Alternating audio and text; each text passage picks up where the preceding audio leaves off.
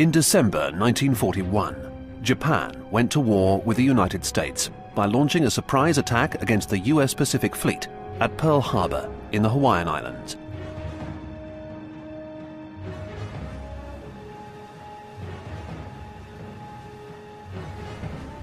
In the following months, the Japanese ruthlessly overran American and Allied possessions in the Far East and Pacific Ocean. Yet by the spring of 1945, the tide of war had turned. A seemingly unstoppable American military whirlwind was thundering across the Pacific Ocean towards the shores of the Japanese home islands, threatening total defeat.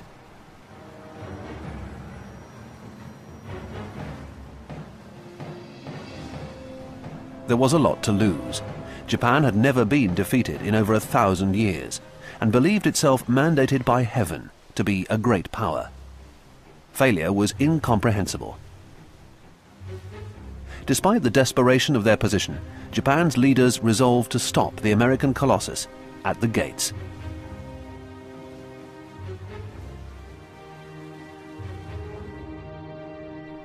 On the rugged island backwater of Okinawa, many believed that the superior will of Japanese soldiers, sailors and airmen would triumph over American materialism and save Japan.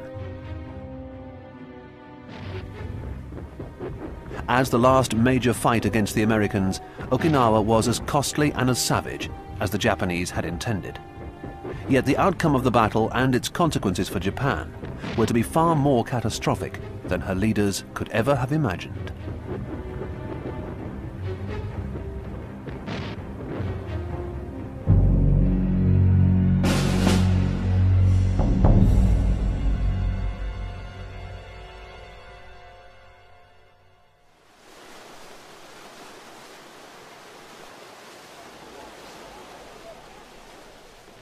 On the 20th of November 1943, US Marine and Army forces, under the strategic direction of Admiral Chester Nimitz, invaded the outermost point of the Japanese defensive perimeter in the Pacific.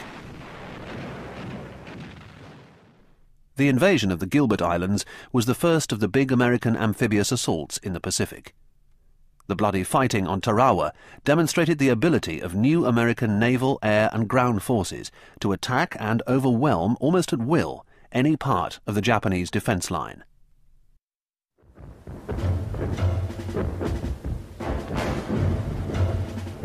The invasion of the Gilberts was the opening blow in what became a relentless drive by US forces across the Central Pacific.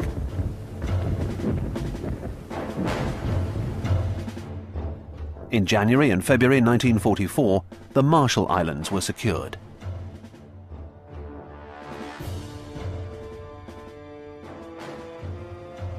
In June, American forces leapt forwards nearly a thousand miles to secure Saipan, Tinian, and Guam in the Marianas.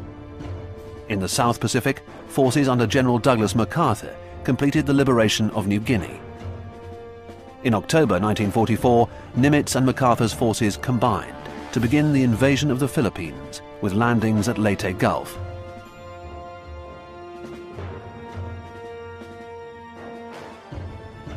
Once the initial objectives of this campaign were secured, Nimitz turned his attention to the final approaches to Japan.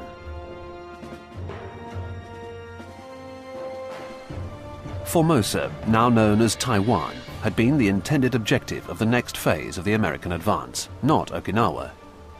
A number of considerations led the Americans to cancel the Formosa invasion in preference for an attack against Okinawa and the Ryukyu Islands,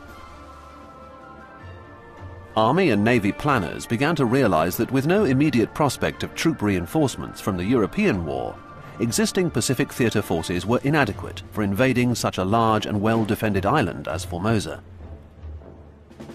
On occupying the Marianas in July 1944, US planners realized these islands lacked adequate harbor and base facilities to support the immense naval and amphibious forces needed for the Formosa operation.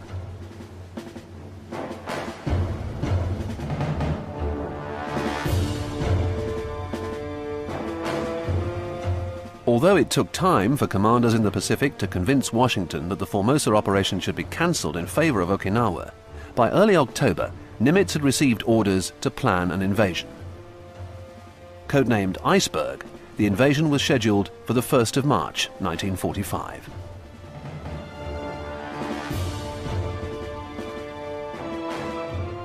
Prior to launching Operation Iceberg, the tiny island of Iwo Jima was to be secured to protect the right flank and lines of communications of those forces involved.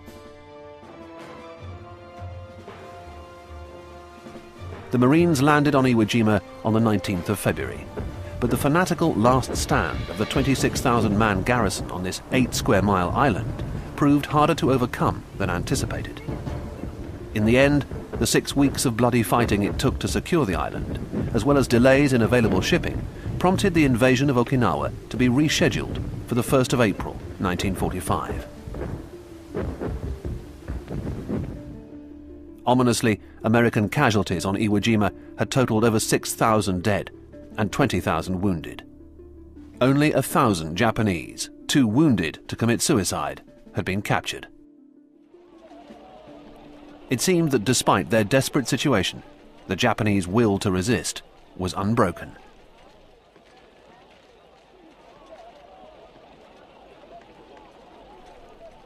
Although the loss of Iwo Jima represented a major breach of the Japanese High Command's final inner defense zone for the home islands, it was only one part of a total collapse of Japan's strategic position across the Far East in the opening months of 1945. Japanese forces had been routed and driven from Burma by revitalized British imperial forces. In the Philippines, only small and scattered Japanese resistance remained. In January 1945, US Navy carrier aircraft began regular large-scale strikes against targets in the Japanese home islands themselves. In March, P-51 Mustang fighter bombers from Iwo Jima joined this aerial assault. That same month, long-range B-29 Superfortress bombers, based in the Marianas, began devastating Japanese cities with incendiary attacks.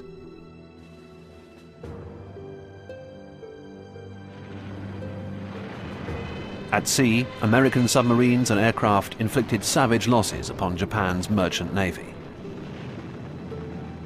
the imminent collapse of imports of raw materials threatened Japan's ability to continue the war by denying her the weapons to fight. Even more ominous were the resulting shortages in foodstuffs. Japan's leaders were acutely aware that by 1946 domestic food stocks would be exhausted. Faced with starvation, there was a very real possibility that the traditional social and political order of Japan would be turned upside down.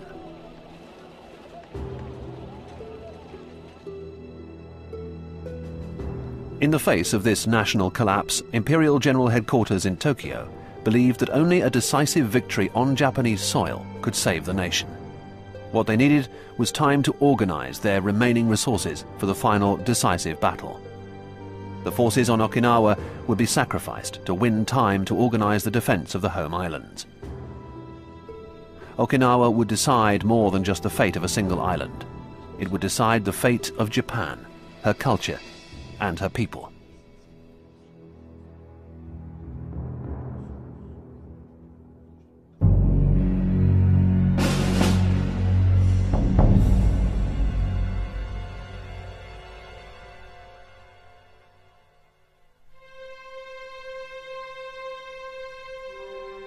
In the struggle for Okinawa, the Americans relied upon a number of experienced naval and army officers.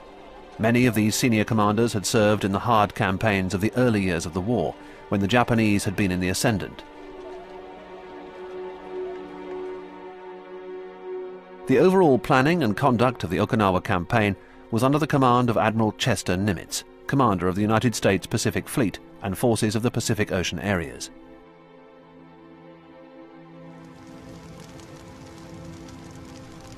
After the devastation of Pearl Harbor in December 1941, Nimitz took control of a demoralized Pacific fleet. This modest, outwardly relaxed man from the Texan hill country soon set about establishing his reputation as a humane, inspirational, and aggressive leader. Arriving at Pearl Harbor, Nimitz rejected demands for a witch hunt of the fleet's personnel. Instead, he chose to heal the fleet's wounds and restore morale by immediately taking the war to the Japanese. In early 1942, US carrier forces attacked targets in the Central Pacific and, most impressively, Tokyo.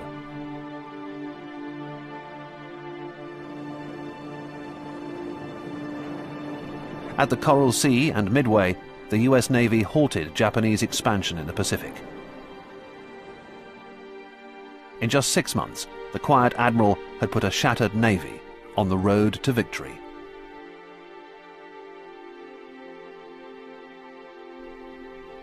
A submariner by trade, who never qualified to fly or command carriers, Nimitz developed a sound understanding of the critical role of aviation in modern warfare. He fully supported the creation of the fast carrier groups that became the main attack force of the Pacific Fleet. By 1944, Nimitz's revitalized fleet boldly drove across the Pacific, inflicting crushing defeats on the Japanese combined fleet at the battles of the Philippine Sea and Leyte Gulf.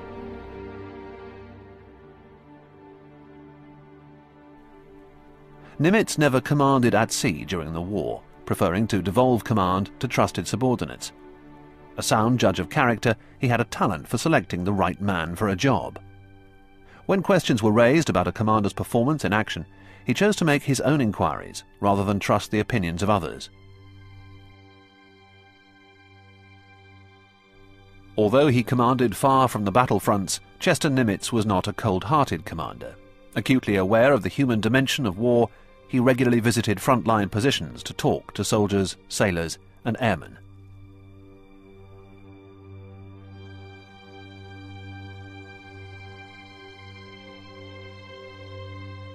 One of the most capable and trusted of Nimitz's subordinates was 59-year-old Vice Admiral Raymond Spruance. For the Okinawa campaign, Spruance was placed in overall command of the Fifth Fleet and the Central Pacific Task Forces. An odd man, outwardly cold and something of a hypochondriac, Spruance had a reputation for cool and detailed thinking. Originally a surface ship commander, on the outbreak of war he found himself thrown into the new concept of carrier warfare. He swiftly demonstrated his abilities, achieving great success. In June 1942, he commanded the American carrier force that defeated the Japanese at the Battle of Midway. He then served as Nimitz's Chief of Operations before returning to Sea Command in late 1943. He oversaw the invasions of the Gilbert, Marshall and Mariana Island chains, but his failure to annihilate the Japanese fleet at the Battle of the Philippine Sea in June 1944 attracted bitter criticism. Faced with a complex situation, Spruance fought with masterly logic, destroying the entire Japanese fleet air support in one day.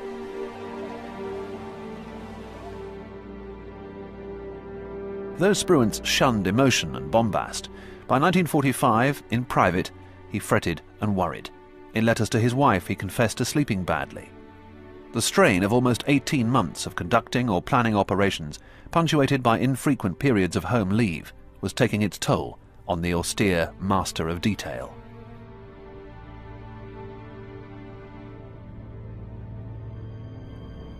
The driving force propelling Spruance's fleet for the Okinawa invasion were the fast carriers of Task Force 58, commanded by Vice Admiral Mark Mitscher.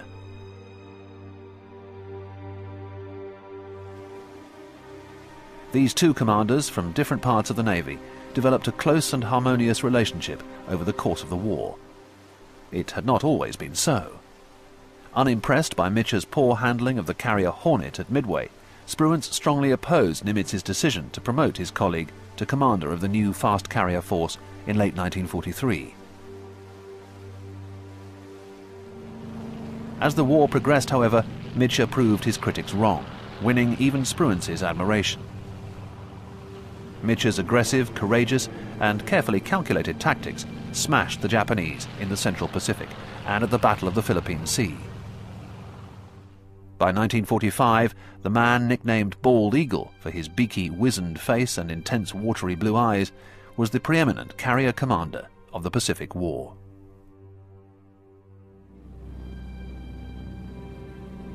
Mitscher was a demanding battle commander.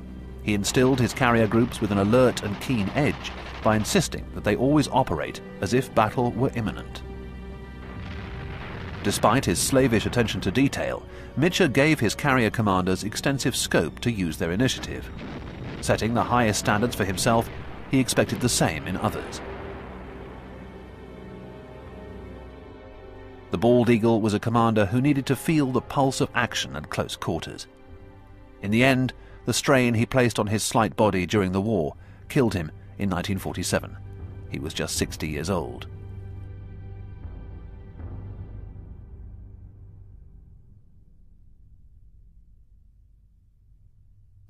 If Mitscher was Spruance's right-hand man, then equally inseparable from the US Navy's success was the less attractive figure of Vice Admiral Richmond Kelly Turner.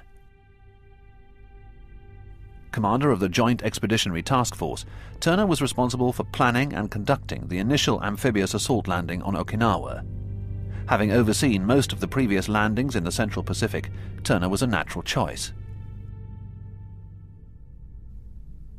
Commanding the U.S. 10th Army during the Okinawa invasion was Lieutenant General Simon Bolivar Buckner. His subsequent conduct of the campaign generated strong criticism from contemporary Marine and naval officers. Born in Kentucky in 1886, he passed out middle of his West Point class in 1908. His pre-war experience involved training as a pilot and two appointments at West Point, the last as Commandant of Cadets. In 1940, he was promoted to brigadier and sent to Alaska, where he was responsible for directing operations in the harsh conditions of the Aleutian Islands campaign. In May 1943, he was sent to Hawaii to organize the 10th Army. Keen to be seen by his men, Buckner regularly went forwards to observe the fighting. During one of these visits, on the 18th of June, he was killed. In 1954, he was posthumously promoted to full general.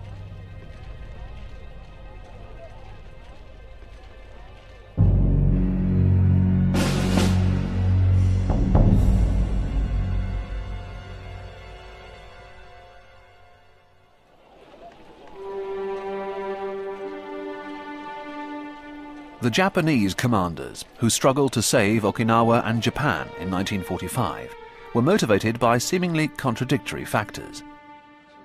They were professional officers, utterly devoted to the service of Emperor Hirohito. Imbued with the ancient samurai code of Bushido, many preferred death at their own hands to the disgrace of capture. They fought fanatically to save Japan. Yet all but the most deluded harboured no doubts about the eventual outcome of the battle for Okinawa and the war as a whole. In a sense, they fought because they understood nothing else. 58-year-old Lieutenant General Mitsuru Ushijima was given command of the 32nd Army on Okinawa in August 1944. In the early stages of the war, he had commanded troops in Burma. He then spent several years as head of the Japanese Military Academy before receiving his appointment on Okinawa. On taking up his post on Okinawa, Ushijima immediately set about preparing the island's defense and improving his troops' morale. His calm manner, integrity, and quiet confidence earned him the admiration of his subordinates. Second in command of the 32nd Army was Major General Isamu Cho. A hard-headed and aggressive officer, in the 1930s, Cho had been associated with extremist officers who advocated setting up a military dictatorship in the name of the emperor. Although arrested, he was soon released and his career prospered. As an officer in the Kwantung Army in Korea, Cho had been intimately involved in provoking war with China in the 1930s. He reportedly took a leading role in organizing the mass killing of over a quarter of a million Chinese civilians at Nanking in 1938. During the war, he held a number of staff appointments in China, Burma, and Malaya. He came to Okinawa from the Military Affairs Bureau of the War Department.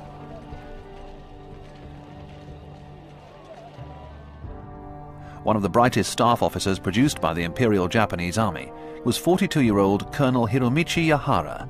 In the 1930s, he spent two years as an exchange officer in America, giving him a unique insight into the nature and strength of his future enemy. His modest but fiercely intellectual nature often brought him into conflict with more senior officers who wanted obedience, not questions, from their subordinates.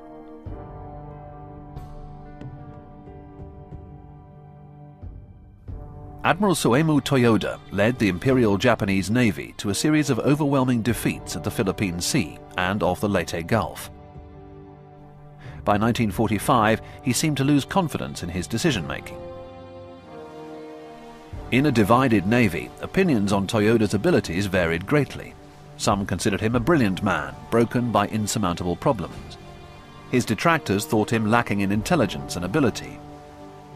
At Okinawa, however, he fatefully ordered the battleship Yamato to attack US shipping off the island in the knowledge that she was doomed.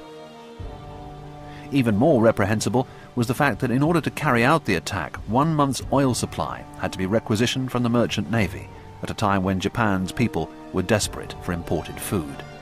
Such callous decisions were spurred not by military realism, but Toyoda's belief that it would dishonor the Imperial Navy if a ship bearing Japan's ancient spiritual name was surrendered to the enemy. Toyoda's decision typifies the conceit of a navy that placed its own warped idea of honor above the needs of the people it was supposed to serve.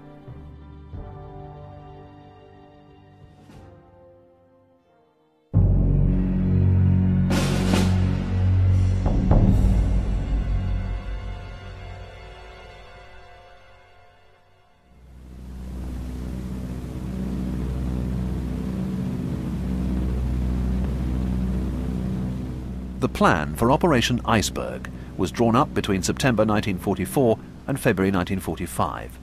It was the most audacious and complex amphibious operation to be undertaken by US forces in the Pacific War. The basic aim was to seize Okinawa in order to develop bases there to support the future invasion of Japan. Iceberg's objectives were only achievable by accumulating vast numbers of men and resources. It required the complex cooperation of naval and amphibious forces from Nimitz's command, as well as close coordination with Army and Air Force units in neighboring theaters. Iceberg was to be the ultimate test of lessons learned by American forces during their advance across the Pacific.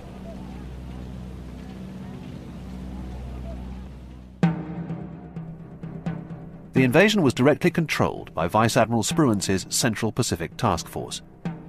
Spruance's plan of attack was initially conceived in four phases. Phase 1 was to be conducted by Vice Admiral Mitscher's fast carriers of Task Force 58 and B-29 Superfortress heavy bombers of General LeMay's 21st Bomber Command. Attacks by these forces were intended to isolate Okinawa by neutralizing Japanese air power in the Ryukyu, Japanese home islands and Formosa. Once this was completed, Mitscher's fast carriers were to take station east of Okinawa and provide support to the other phases of Iceberg. Mitscher was also responsible for eliminating any enemy surface threat. Joining American naval forces for the first time would be the British Pacific Fleet. Commanded by Vice Admiral Sir Bernard Rawlings, the British carriers of Task Force 57 were assigned to protect the left flank of the invasion by mounting strikes against Japanese air assets in the Sakishima Islands and Formosa.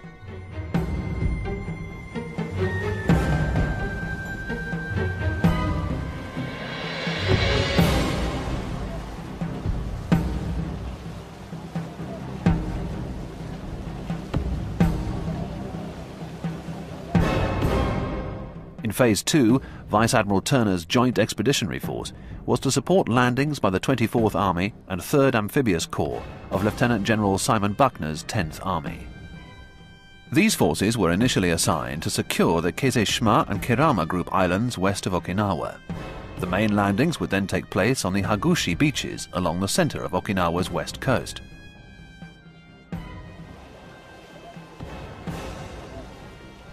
The second phase would end with the securing of the southern part of the island. In Phase 3, the remainder of the island would be occupied, along with the Ie Shima, in and off the northwest coast.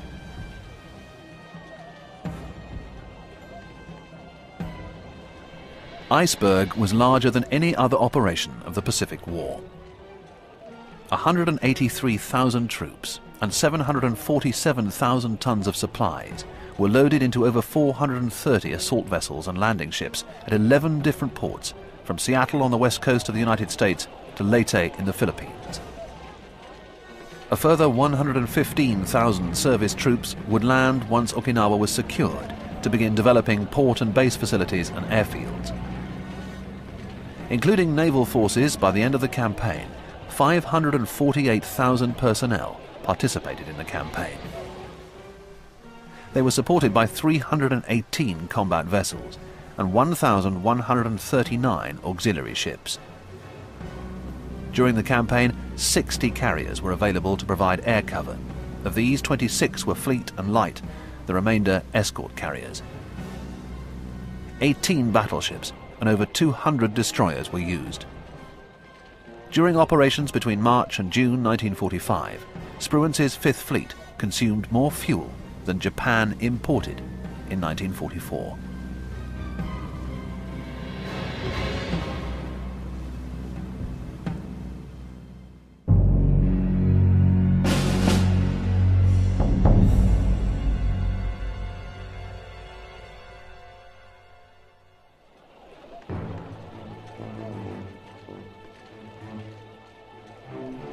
From September 1943, the Ryukyu Islands assumed increasing importance in Japanese plans, although little was immediately done to develop their defences. When the loss of the Marianas in June 1944 made a thrust against the Ryukyus a real possibility, reinforcements for Lieutenant General Mitsuru Ushijima's 32nd Army began pouring in to defend these islands. Despite these initial measures, by January 1945, the Army and Navy were split over whether the decisive battle should be waged on Okinawa or the Japanese home islands. The Navy hoped to secure a victory off Japan and resolved to commit the bulk of its air power at Okinawa. In contrast, the Army was convinced that Japan was the best place to defeat the Americans. Accordingly, troops were steadily withdrawn from Okinawa and promised reinforcements never materialized. This inter-service quarrel gradually made it clear to Ushijima that his forces were going to be sacrificed. He abandoned his existing plans to defeat an American invasion at the shoreline. The new plan was based upon sound arguments from Colonel Hiromichi Yahara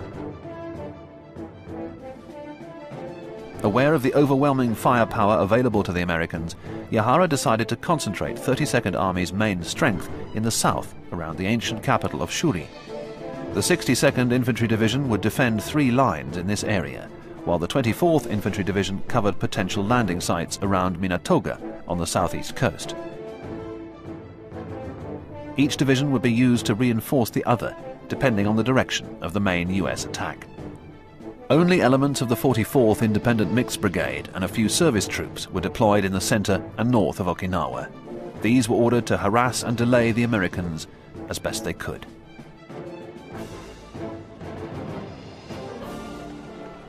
Yahara intended to fight a long and bloody battle of attrition. Okinawa was riddled by steep escarpments and ravines. East-west limestone plateau and ridges formed natural and mutually supporting lines of defense. Natural caves and burial tombs were easily converted into strong underground positions, largely invulnerable to enemy air and artillery fire. To man these defences, 32nd Army had 65,000 regular troops and 8,800 naval personnel. 20,000 residents had formed a militia. At Okinawa, America would be battered by the greatest concentration of artillery encountered by US forces in the Pacific War. By doggedly holding their fortified positions, the defenders of Okinawa would have to be blasted out position by position at a heavy cost in American lives.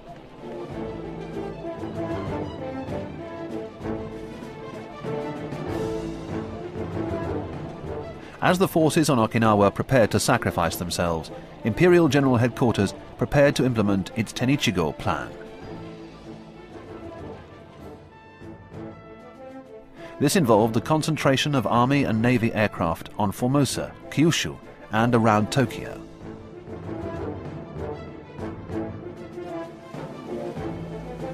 With the Navy providing the bulk of these forces, Army air units were placed under direct control of the commander of the combined fleet, Admiral Toyoda. The dilemma confronting Toyoda was how to use these forces in the face of American quantitative and qualitative superiority.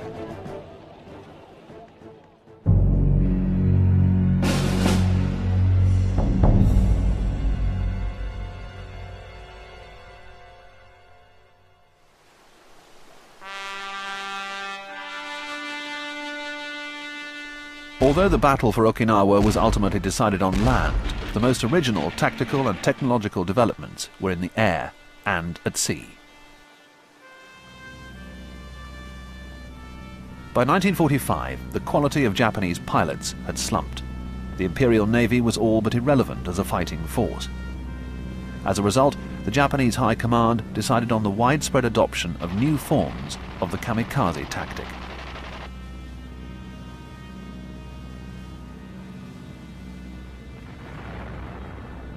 Suicide attacks were not new. Throughout the war, Japanese pilots had demonstrated their willingness to crash into Allied vessels. However, during the fighting off the Philippines in 1944, what had once been a random act of self-sacrifice was converted into a formal and lethal method of attack by the Imperial Navy. The reason for this was simple. The only way that the Japanese could replace their huge aircrew losses was to cut back training programs. By late 1944, Japanese pilots had an average of only two or three months training. Rival US Navy pilots had two years training and often the chance to acquire combat experience in minor actions. The resulting quality gap meant that Japanese air formations were regularly annihilated in combat. To overcome the lack of training and Allied air defences during the Battle for Leyte in 1944, Vice Admiral Onishi instructed his pilots to deliberately ram their planes into Allied warships.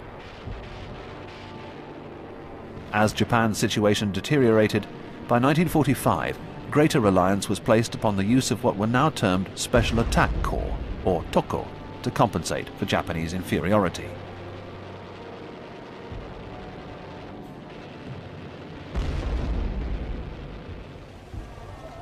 Special attack units comprised three kamikazes, supported by an observer aircraft and a fighter. This tactical formation was intended to maximize success by delivering a coordinated attack. The kamikazes were armed with conventional bombs or torpedoes to increase their destructive power. To avoid errors in the attack, the bombs were already fused. As the weight of the payloads often made the aircraft less maneuverable, and consequently more vulnerable to Allied fighter planes, sophisticated tactics were replaced by a fast sprint towards the target.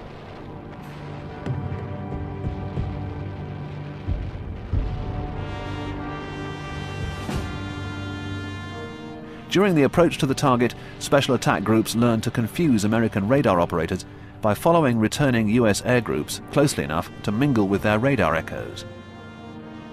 They sent out false signals to mimic the transmitters on US aircraft that identified them as friends to shipborne radar. To further baffle enemy radar, the kamikazes approached erratically, constantly changing altitude in the hope of breaking contact.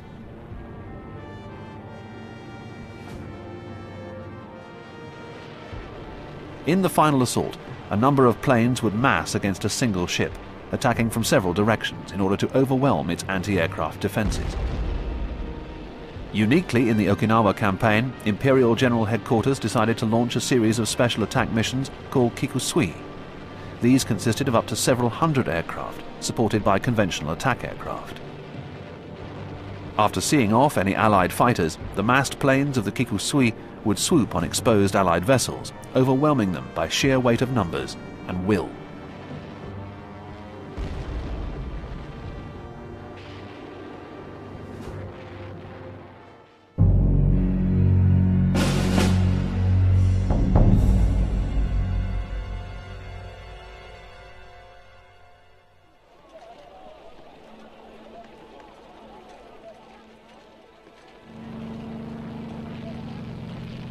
To achieve maximum effect in these attacks, the Japanese developed a series of specialized weapons and deployed their most advanced warship.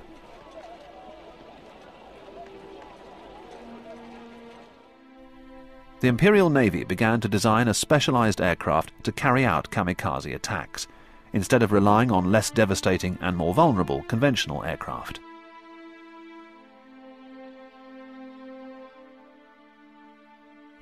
The most radical design was that of Ensign Mitsuo Ota for a rocket-propelled attack plane.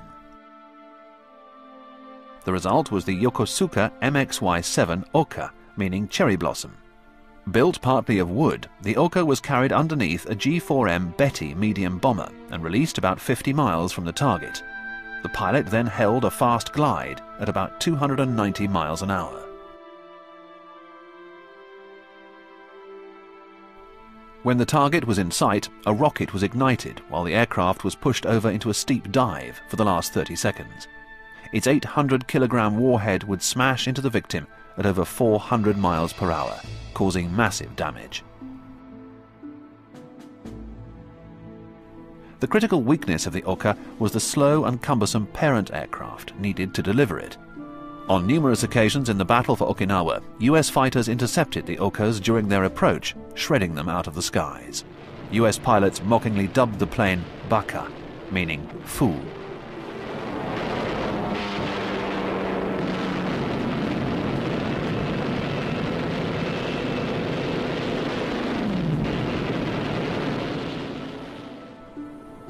By 1945, Allied action had reduced the Japanese submarine fleet to a shadow of its former self. To stem the tide of American naval power, the Navy diverted research and materials into more economical submersible weapons.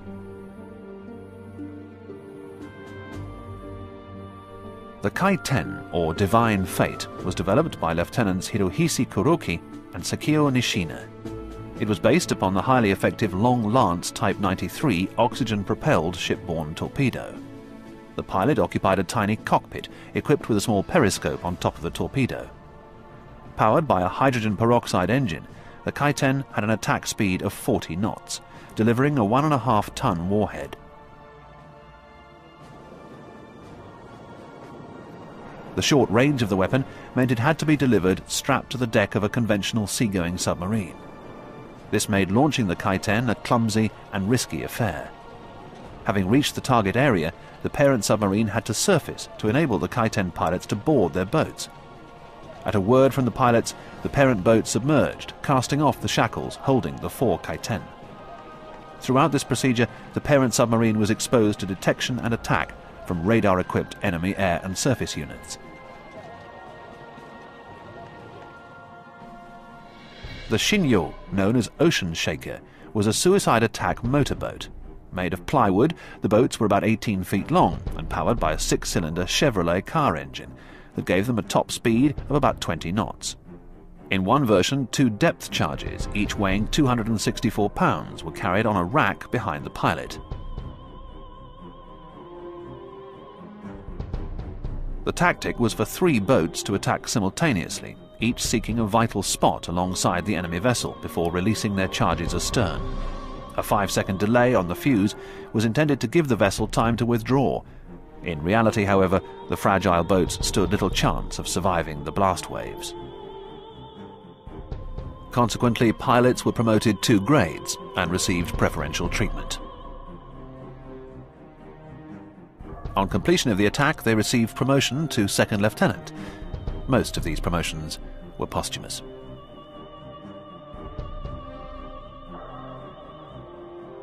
Another variant of the Shinyo was fitted with bow charges.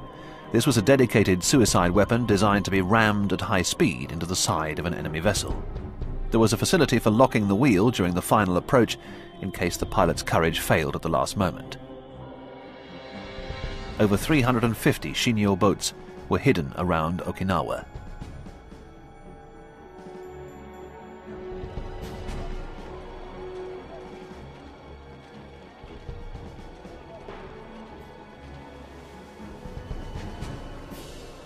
During the interwar years, the Japanese Navy tried to match the US Navy's growing strength. Battleships Yamato and Musashi.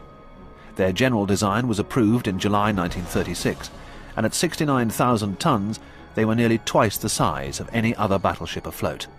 Despite their bulk, they were capable of an impressive 27 knots, and at the start of the war, their turning abilities were superior to any other capital ship. At the heart of their design were nine 18.1-inch guns, the most powerful guns ever placed aboard a battleship. The guns were housed in three turrets, each heavier than a destroyer. Each shell weighed one and a half tons, and the designated rate of fire was over one and a half rounds per minute. The Yamato class were also designed to absorb merciless punishment. Their armour was capable of withstanding hits from the most powerful torpedoes, and from shells fired 20,000 metres away. Built under the strictest secrecy, the Yamato and Musashi entered service in 1941 and 42 respectively. Security surrounding the two ships was so effective that until the end of the war, Allied intelligence on their capabilities was minimal. Generally held in reserve, Yamato and Musashi saw relatively little action until the late stages of the war. Even then, they never engaged in the ship-to-ship -ship gun duel they'd been designed to fight, as the carrier superseded the battleship as the standard of naval power.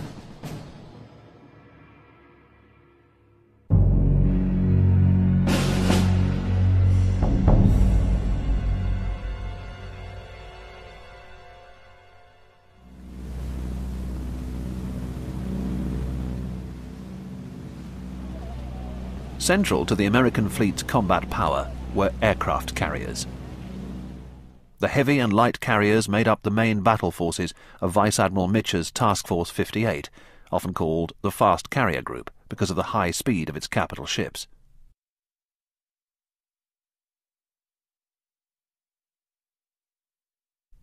The mainstay of the fast carrier group were the heavy or fleet carriers of the Essex class. Big and fast, these ships displaced over 27,000 tons and were capable of a maximum speed just in excess of 32 knots.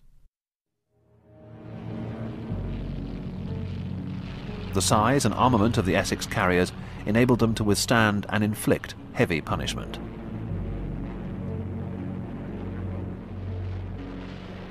By late 1944, kamikaze attacks prompted the US Navy to look at the defences of its carriers.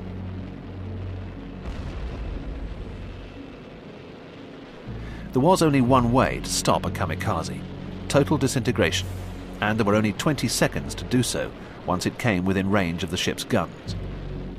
The Americans strengthened the Essex's anti-aircraft defences by adding more guns to create a literal wall of fire around the ship. Extra 40mm guns were fitted. They also counted 12 lethal 5-inch guns and over 60 smaller 20mm weapons amongst their armament. Great use was made of VT, or proximity fuses, installed in anti-aircraft shells. Before VT fuses were introduced, anti-aircraft fire required the shell to be delivered near the target, and its detonation by a timer fuse set to the right distance. The VT fuse made destroying enemy aircraft easier by deciding the distance from the target via electrical waves reflected off the surface of the target. The combination of radar, inexperienced Japanese aircrew, and their aircraft's lack of armour transformed the VT fuse into a lethal weapon against Japanese air attacks.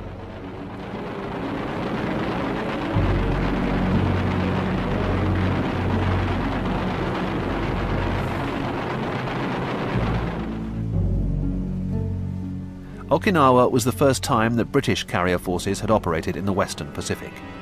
The four fleet carriers of the British task force had several features that made them less vulnerable to serious damage from aerial attack than their American cousins. Designed to operate in the narrow seas of Europe in range of land-based aircraft, British carriers were shaped by passive defence. Steel decks and armoured hangars gave their carriers greater strength, especially when under kamikaze attack.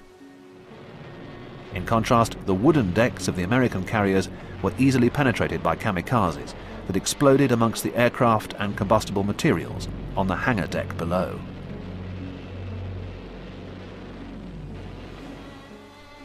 Despite greater resilience to direct hits, British carriers inflicted far less damage than their American counterparts. Armoured hangars reduced the number of aircraft that could be carried. This made it difficult to deploy strong fighter cover over the British fleet. In offensive operations, lack of numbers meant that enemy ground defences could not be saturated. Consequently, during the Okinawa campaign, the British suffered proportionately higher rates of loss than American air groups.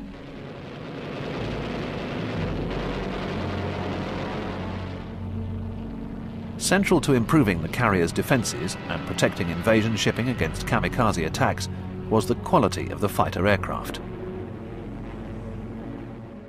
The most impressive carrier-borne aircraft available during the Okinawa campaign was the Vought F-6F Corsair. Generally recognised as the finest fighter of the Second World War, development of the Corsair began as early as 1938.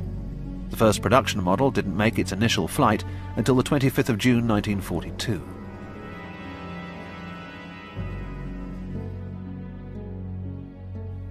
In order to enable the Combat Air Patrol, or CAP, to intercept kamikazes, a greater speed and rate of climb than the Hellcat was needed.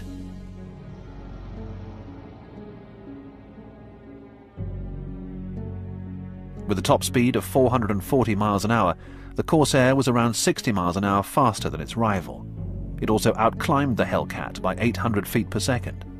These superior characteristics were enhanced by a standard armament of six half-inch machine guns, and the Corsair's ability to double as a ground attack aircraft, carrying two 1,000 pound bombs or eight 5 inch rockets.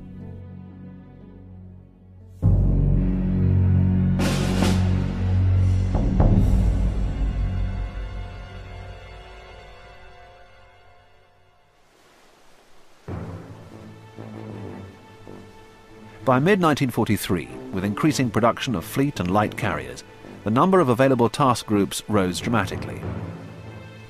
To coordinate these groups in late 1943, Admiral Nimitz formed the Fast Carrier Force. The Fast Carrier Force had a complement of just under a thousand aircraft and comprised four task groups operating in close proximity for better coordination. Allowing for ships away in dock, each group consisted of two fleet and two light carriers, with a battleship or heavy cruiser and several destroyers in support. Its strength was the high speed of its heavy ships.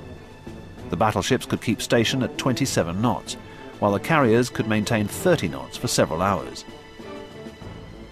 Supporting the fast carrier force was an impressive logistic train.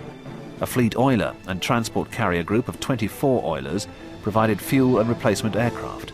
Additional support came from the fleet train that for the Okinawa campaign consisted of 206 support ships. These included repair ships, floating dry docks, hospital ships, salvage vessels, ammunition, victualling and store ships. Two impressive features of operations in 1945 were first the ability to re-ammunition heavy ships at sea. Second, the rotation of air crews between sea operations and rest ashore. During the Okinawa campaign, these factors enabled the fast carrier force to maintain a high level of combat effectiveness over 92 days of action without it ever having to return to port.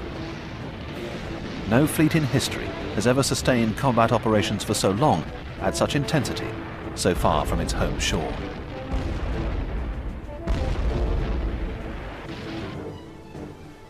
The ability of the fast carriers to provide timely and effective protection relied upon advance warning of enemy aircraft. This task was given to the destroyer radar pickets and fighter direction ships. 15 radar pickets were deployed to cover all points of the compass, 50 to 70 miles from the main fleet anchorage of western Okinawa. Picket ships were concentrated in the north and northwest, areas considered the most likely approaches for Japanese attacks.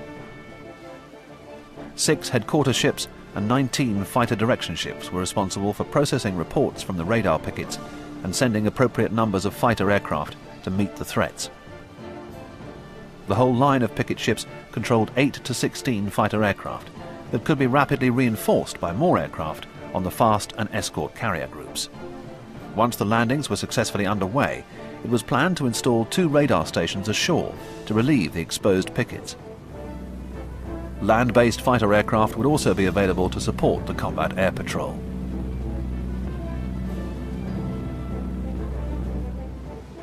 There was some difference of opinion amongst senior naval officers about the role of radar pickets. Vice Admiral Turner stressed that their primary duty was to report air raids, leaving destruction of enemy aircraft to the cap and anti-aircraft fire. Turner's replacement in mid-May, Vice Admiral Hill, considered reporting secondary to the destruction of enemy aircraft and breaking up their formations. Despite this confusion, the radar pickets played a vital role in protecting the invasion fleet massed off Okinawa. Unfortunately, their exposed positions and lack of defensive firepower against multiple attacks meant that they suffered heavy losses. Five were sunk, and 16 were damaged.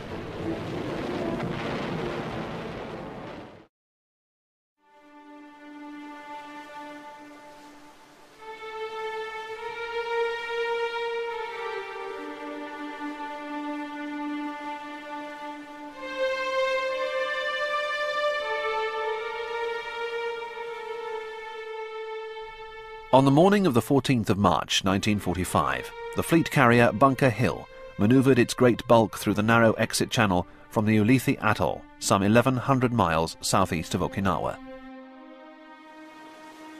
Sat on the flag bridge, Vice Admiral Mark Mitscher watched as the vast armada of the fast carrier force sorted in a single column. Emerging into the deep Pacific Ocean, the force deployed into a cruising formation of four groups.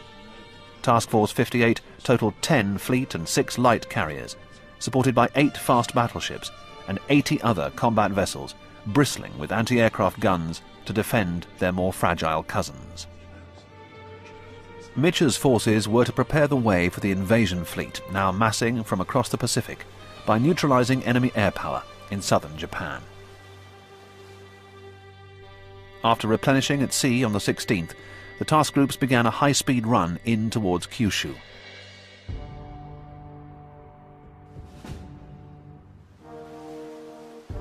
At first light on the 18th of March, just 90 miles from the Japanese coast, Mitscher signaled his carriers to turn into the wind and commence launching their powerful air groups.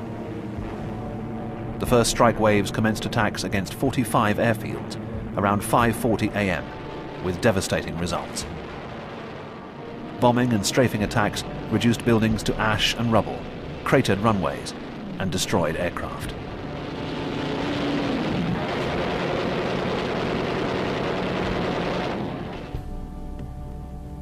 During these operations, the US carrier groups came under attack from the 5th Air Fleet on Kyushu. Vice Admiral Ugaki had initially been ordered to disperse his aircraft and avoid attacking the Americans in order to conserve his strength for the coming Battle of Okinawa. Alerted that Task Force 58 had sorted from Ulithi, he knew it would be impossible to preserve his forces against four enemy task groups. Locating the Americans late on the 17th, the following day Ugaki launched a dawn attack against Rear Admiral Radford's task group. Despite intensive defensive fire and fighter cover, Ugaki's men pressed home their attacks against the carriers. The Enterprise had a lucky escape when a bomb failed to explode. Intrepid was damaged by a near miss that started fires, killing two and wounding 43 of her crew. Yorktown took a bomb through her deck. The resulting explosion blew two holes through her hull.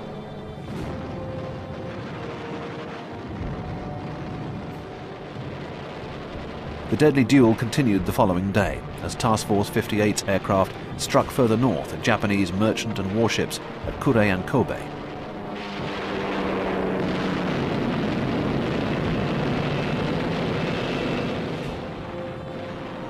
Ugaki counterattacked again, this time concentrating against Rear Admiral Davison's carriers. Luck was with the Japanese pilots that day. A lone aircraft managed to slip through American defenses, scoring a direct hit on the Wasp, causing internal fires on five decks. However, expert American firefighting and damage control quickly brought the situation under control, and within an hour, Wasp was recovering aircraft. Casualties were high, with over a hundred dead and 269 wounded. The heaviest damage and loss of life was suffered by Davison's flagship, the Franklin. In the process of launching her second wave of aircraft, a lone Japanese plane flew low right down the flight deck, dropping two bombs. Explosions erupted on the hangar and flight decks. Bombs and rockets aboard the American aircraft went off, causing further damage. With the Franklin in flames and listing heavily, Davison transferred to the cruiser Santa Fe, who came alongside to take off survivors and turn her hoses on the Franklin's roaring fires. After three hours, the Franklin was brought under tow by the cruiser Pittsburgh. In an incredible feat, by the morning of the 20th, the Franklin was able to make way under her own power at 15 knots. Casualties were extreme. Over a third of her crew were killed or wounded. Eventually, the most heavily damaged aircraft carrier in the world sailed 12,000 miles to the Brooklyn Naval Yard, New York.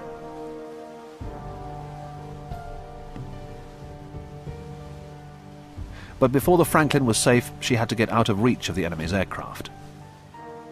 Determined to bring the damaged carrier home, Vice Admiral Mitscher ordered his forces to retire slowly and provide cover.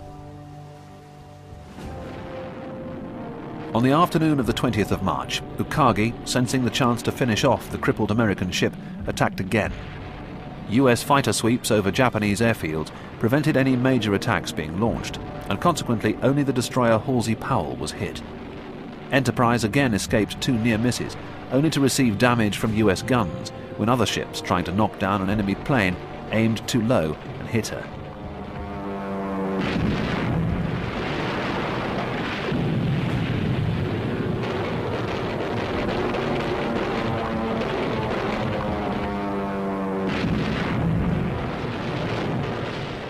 Both sides disputed the degree of damage inflicted by Task Force 58's attacks. US pilots claimed to have destroyed 528 aircraft. The Japanese admitted to 163 lost.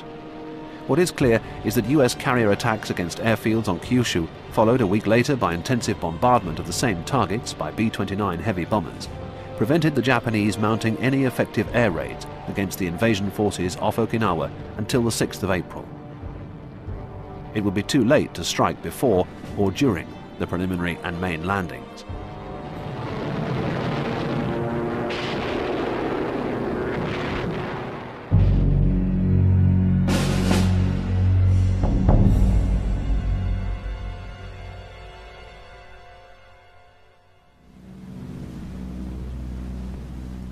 On the 24th of March, the first ships of the invasion fleet arrived. These were the minesweepers, designated to sweep the approaches to Okinawa and the surrounding islands. Their slogan of no sweep, no invasion highlights their importance to the campaign, during which they swept over 3,000 square miles of sea to ensure the safety of invasion shipping. Although the Japanese had not carried out extensive mining operations, there proved enough devices to make trouble. Once swept channels were open on the 24th of March, Mitscher detached six fast battleships to bombard the beaches around Minatoga on Okinawa as part of the plan to deceive the Japanese about the exact location of the invasion. The following day, Mitscher's battleships were reinforced by the appearance of Admiral Durgin's 18 escort carriers. A force of light cruisers and destroyers started softening up the Kerama Islands to the west of Okinawa in preparation for the arrival of the 77th Division. Surface bombardment of intended landing sites began in earnest on the 26th of March, with the arrival of the main body of the Gunfire and Covering Force, Task Force 54.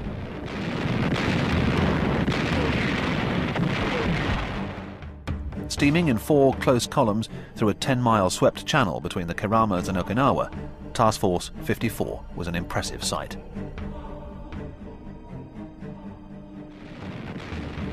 From the 26th of March to the main landings on the 1st of April, Task Force 54 pounded known and suspected Japanese positions. In total, 5,162 tons of ammunition were expended, over 27,000 rounds greater than 5 inches in caliber. Most impressive to observers were the flames and rubble thrown up by the 14 and 16 inch guns of 10 old battleships. Five of these battle wagons had been sunk or damaged at Pearl Harbor in 1941 it was perhaps fitting that they took part in the US Navy's final campaign of the war.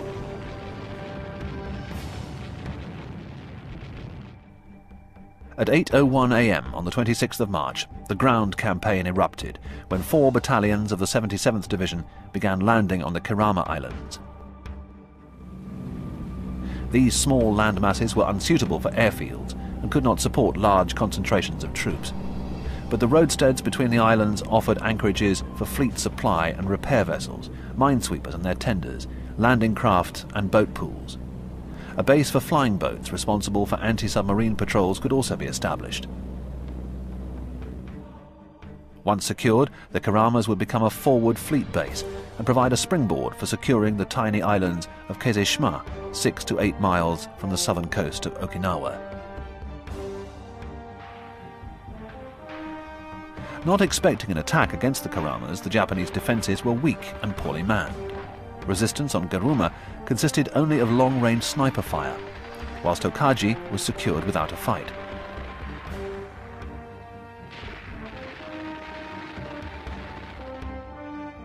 By early afternoon, Yakabi was secured.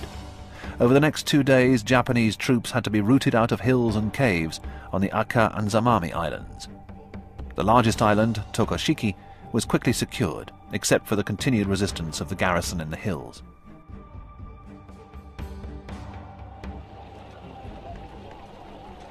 By the 29th of March, all the islands were secured, followed by the Keizeshima two days later. Casualties were surprisingly low, with 31 killed and 84 wounded. Over 121 Japanese had been taken prisoner, offering hope to US commanders that Okinawa may be as easy to subdue.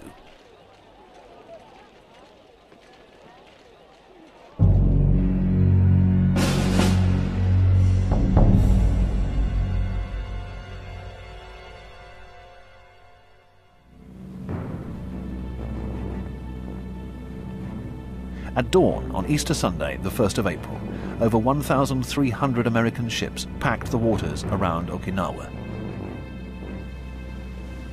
Just after 4 a.m., thousands of Marines and soldiers began climbing down scrambling nets into landing craft alongside their transports. Specialized tank landing ships spread their yawning bow doors and launched a wave of amphibious M4A4 Sherman tanks. Behind them, five to seven waves of Amtraks formed up 4,000 yards from the beaches. These armoured troop carriers were designed to take the infantry safely to the shore and then over the exposed beaches. As hundreds of assault craft moved into position, warships and other fire support craft continued to saturate the beaches with the heaviest pre-invasion bombardment of the war. Over 44,000 shells of between 5 and 16 inches in caliber were fired to prepare the way for the landing forces.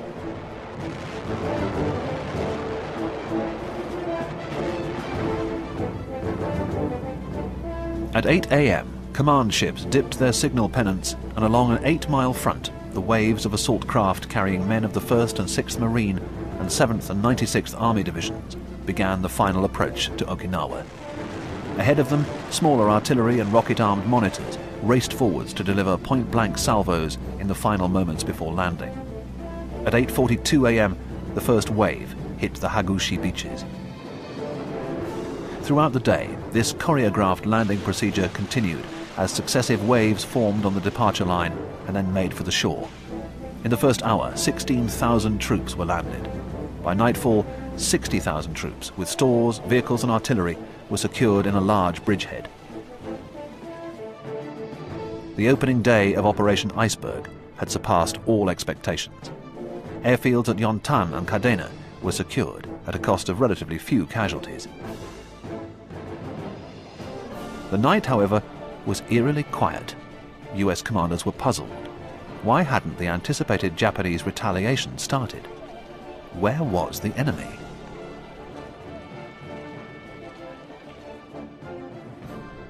Lieutenant General Ushijima and most of the 32nd Army were, as planned, dug in far to the south.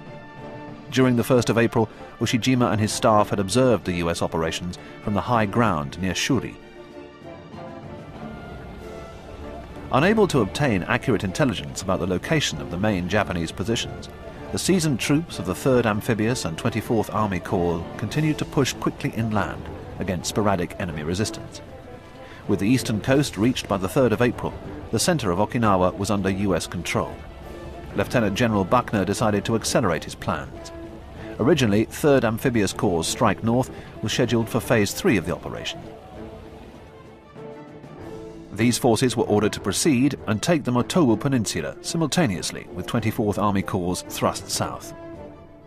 Over the next two weeks, the Marines of Major General Roy Geiger's 3rd Amphibious Corps made rapid progress in clearing northern Okinawa. Apart from crushing two small pockets of Japanese troops, the only obstacle facing the Marines was the rugged terrain. As they pushed forwards, service and engineer troops repaired roads and built bridges to support the speed of operations. On the 7th of April, the only substantial Japanese forces facing Geiger's Marines had been sealed into the Motobu Peninsula. Six days later, tank infantry teams of the 6th Marine Division reached the northern tip of the island. 3rd Amphibious Corps began preparations to stamp out the isolated Japanese. Being so ahead of schedule, the Marines had reason to be confident of a swift end to the campaign.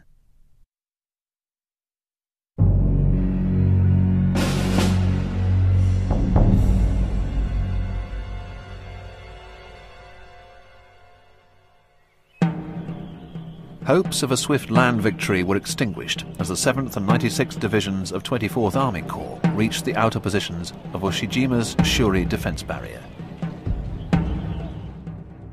Near Arakachi was a 450-foot ridge, nicknamed the Pinnacle because of a 30-foot coral spike on its summit. On the 5th of April, 7th Division tried to take this position, but was driven back. The Japanese defences on this ridge were a taster of what lay in store along the main defensive line further south. The Pinnacle was defended by a company of 120 Japanese of the 14th Independent Battalion, led by First Lieutenant Seiji Tanagawa, the ridge was honeycombed with trenches, pits, and underground passages, with all the main approaches mined and covered with barbed wire. The base of the hill was defended by 10 light and heavy machine guns, supported by seven 50mm mortars. From these positions, the Japanese could shelter from the initial enemy artillery barrage. When the barrage lifted, the defenders could emerge unscathed to concentrate fire on US infantry struggling over the wire and mines.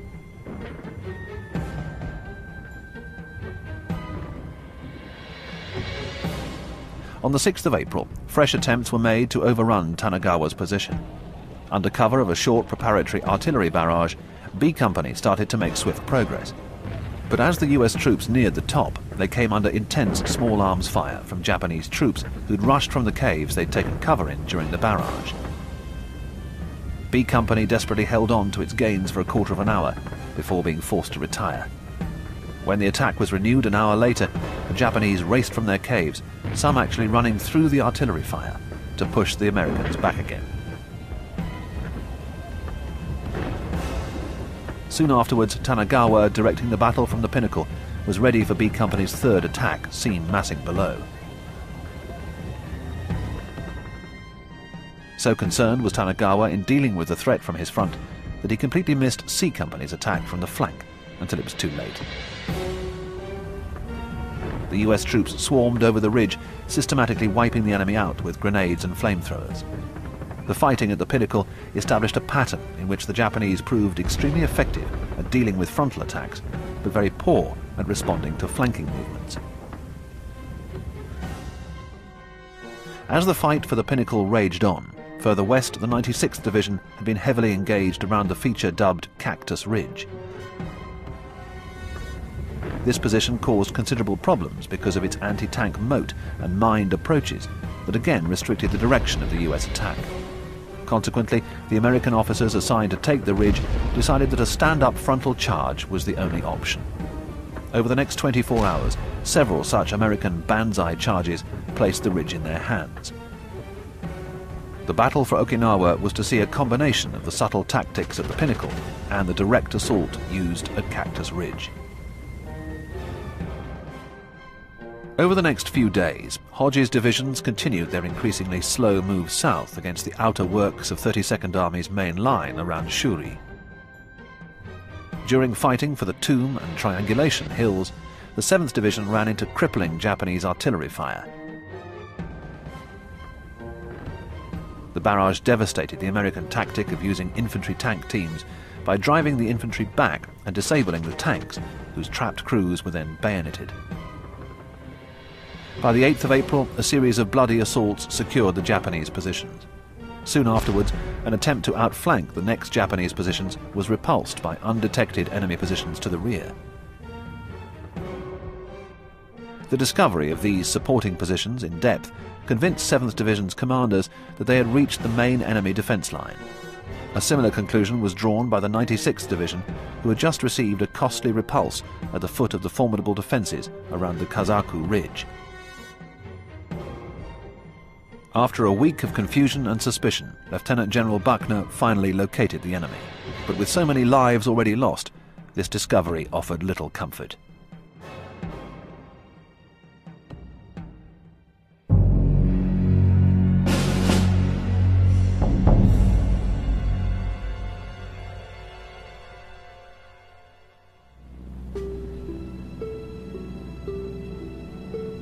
While the US 10th Army probed towards the main Japanese positions on Okinawa, the vast armada of ships continued to unload troops and supplies. Although Imperial General Headquarters had authorized its Operation Tengo defense plan for Okinawa on the 25th of March, the destruction caused by US airstrikes against Kyushu prevented any air raids until the 6th of April. That day, Admiral Toyoda launched the first Kikusui attack of over 900 aircraft, 355 of them kamikazes. The first US vessels to suffer were the exposed radar pickets. By nightfall, three had been lost.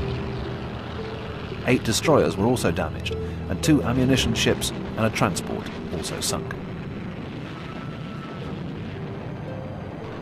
The following day, Toyoda threw in another massive attack, a kamikaze penetrated the defense screen off Hagushi beaches, crashing into the battleship Maryland, inflicting over 50 casualties. A group of 20 aircraft approaching the transport area failed to score any successes, losing 12 to fighter and anti-aircraft fire. Once again, the radar pickets suffered at the hands of overwhelming enemy numbers. The destroyer escort USS Wesson was hit by a kamikaze that thundered out of the clouds while her guns were firing on three sides. Fires ripped through her decks and power was lost, but managing the damage brought the situation under control, and she was able to make her way to Kerama. Taking advantage of the absence of the strike groups from the carriers of Task Force 58, Toyoda mounted a series of powerful attacks against the carriers.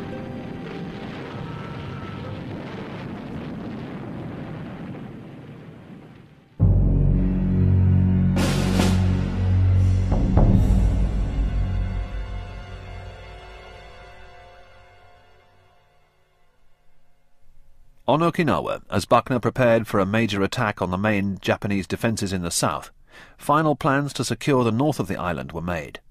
These involved simultaneous attacks against the Motobu Peninsula and the nearby island of Ie Shima.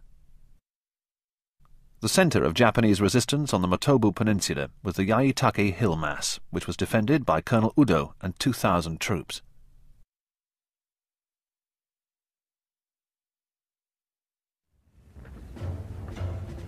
Initially, the 6th Marine Division's operations were hampered by low cloud cover and dense vegetation, preventing aerial reconnaissance from locating Udo's main position. Snipers added to the confusion, drawing the Marines in the wrong direction. In the end, the chance capture of an enemy map on the 13th of April finally revealed Udo's position, and the Marines immediately positioned four battalions around Yaitake for an assault. On the 16th of April, as the two battalions pressured the Japanese from the east, two battalions of the 4th Marine Regiment moved to seize the crest from the north, aided by a thrust by the 1st Battalion, 4th Marine Regiment from the south.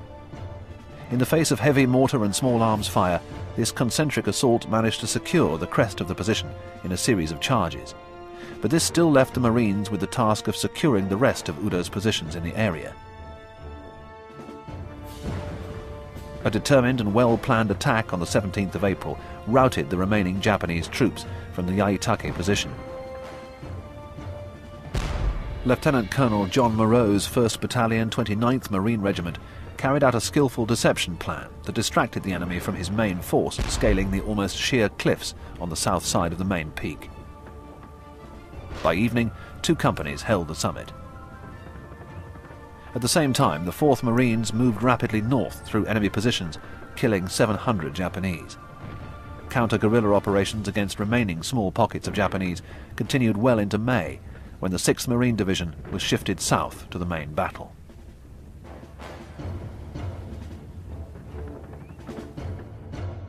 As the Marines cleared the mainland, the 77th Division disembarked to secure Ie Shima.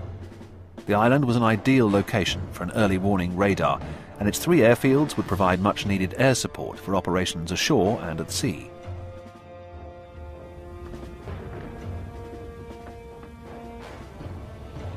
Assuming the best beaches would be heavily defended, the division landed under naval gunfire at a less favourable landing site, catching the Japanese by surprise. But the advantage was short-lived. The main Japanese defences were located around the town of Ie and the ridges approaching the steep slopes of Mount Iegusugu. The main barrier to an advance against the defences on Mount Iegusugu was a height soon dubbed Bloody Ridge by the Americans. At the summit of Bloody Ridge was a concrete building which the 77th Division called Government Hill House. Defending these positions were 2,000 troops and civilians, including women carrying wooden spears. Despite the unopposed landings of the 16th of April, over the next two days the Americans failed to secure Bloody Ridge in the face of powerful Japanese counterattacks. Major General Andrew Bruce commanding 77th Division, was forced to review his plans and prepare a series of fresh and ultimately successful attacks.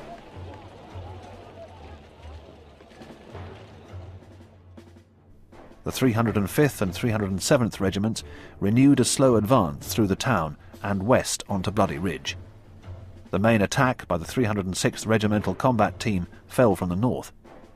Government House was secured by the 307th Regiment and then held in the face of ferocious enemy counterattacks. G Company 2nd Battalion counted 280 Japanese bodies in front of its positions.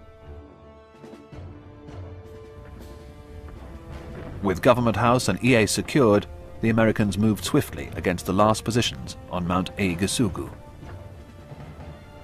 The peak was finally captured just before 2 o'clock, when the American flag was raised. Many Japanese and civilians still remained in the caves, and on the 22nd of April they mounted a futile attack. At the end, over 4,700 Japanese, including 1,500 civilians, had been killed. US losses totaled 172 dead and over 900 wounded. The cost was worth it for possession of airfields that by the end of the month provided vital cover to shipping off the Hagushi and recently secured Nakagusuku beaches.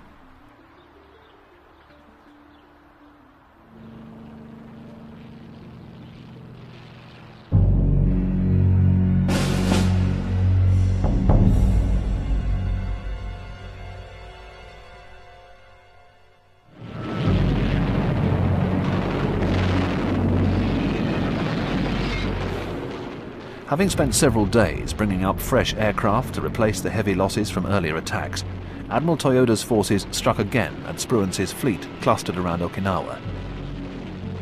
Three Kikusui attacks were mounted between the 11th and the 16th of April. Warned about the first of these attacks by a talkative Japanese prisoner, Mitscher cancelled plans for air support over Okinawa and readied Task Force 58 for imminent attack the British Pacific Fleet moved to strike airfields on Formosa to lessen the threat from Spruance's left flank. The gunfire support group was reduced to the bare minimum for shore support, so that most of its vessels could cruise at sea in a tight formation for maximum defence.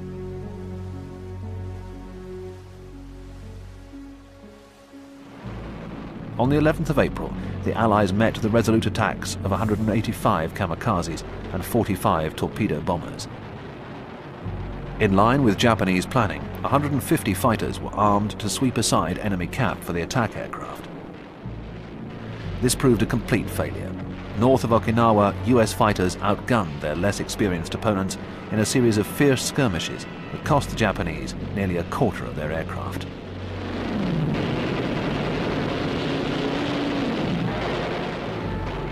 This pattern of events was repeated the following day, and again on the 16th of April, with the radar pickets once more bearing the brunt of the attacks. One of these, the destroyer Laffey, might have been excused from thinking that it was the sole aim of the attacks on the 16th of April. In 80 minutes, she suffered 22 separate attacks. Hit by four bombs and six kamikazes, only brilliant ship handling, damage control, and the bravery of her gunners saved her.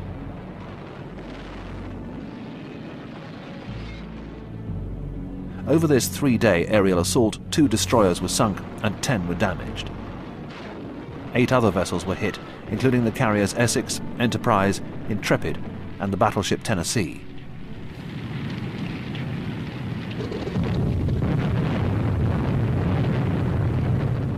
The next Kikusui raids were not mounted until the 28th and 29th of April, while the Japanese replenished their exhausted air units. Even so, every day throughout April, the US Navy and the British Pacific Fleet were attacked by up to 20 planes that exacted a small but steady toll.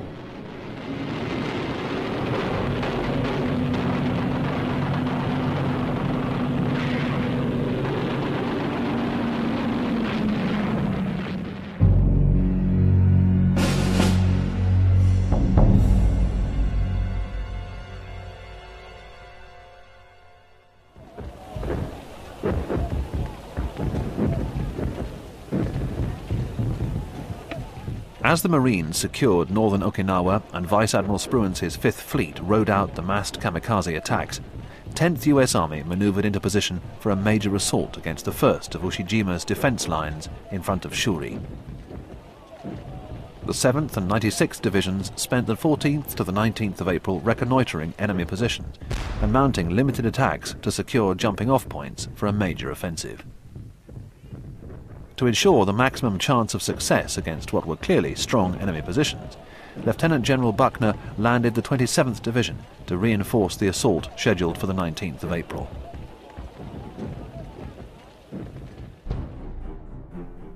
Facing the Americans were a series of heavily fortified ridges running east-west across the four-mile isthmus.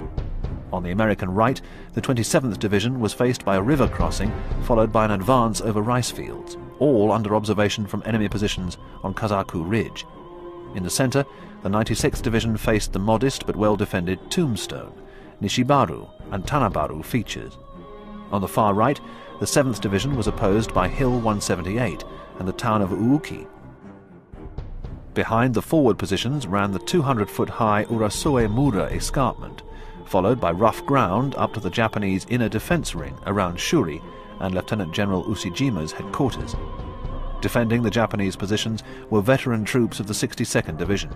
It would take over five days of heavy and often confused close-quarter fighting for Buckner's men to break what they named the Machinato Line.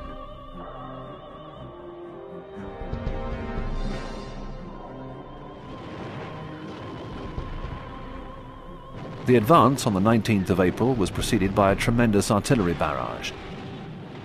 Buckner massed the greatest concentration of ground artillery in the Pacific War, assisted by warships and hundreds of aircraft, strafing, rocketing, bombing, and napalming enemy positions. The Japanese, hidden deep within their shelters, waited until the fire finished, and then rushed to their positions before the American assault infantry could overrun them.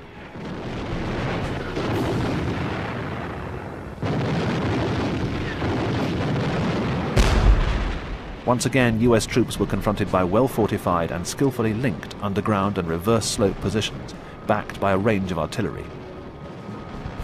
These were in turn reinforced with savage, often suicidal counterattacks. Very quickly, the three-division attack collapsed into a series of individual battles.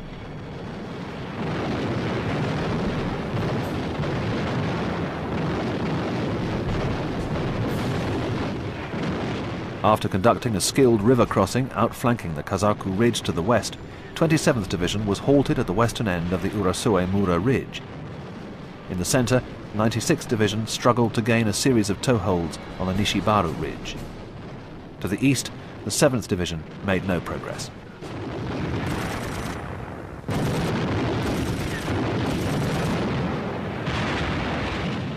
Over the next few days, some of the bitterest and most chaotic fighting centered around a salient on the Kazaku Ridge. With the flanks of the 27th and 96th Divisions threatened, Japanese positions had to be reduced. Moving methodically west to east, elements of the 27th Division had nearly cleared the ridge by the afternoon of the 20th of April. However, the desperate fighting on the Urasoe Mura Ridge required forces to be diverted away from Kazaku.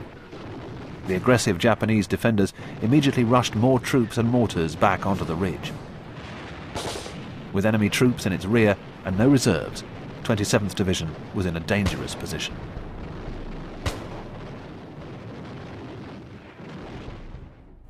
Only by borrowing troops from other formations did it finally encircle Kazaku Ridge. On the 24th of April, Bradford Force, equipped with tanks, armoured flamethrowers, and self propelled artillery, attacked to wipe out the Japanese, only to find they had escaped from under their noses.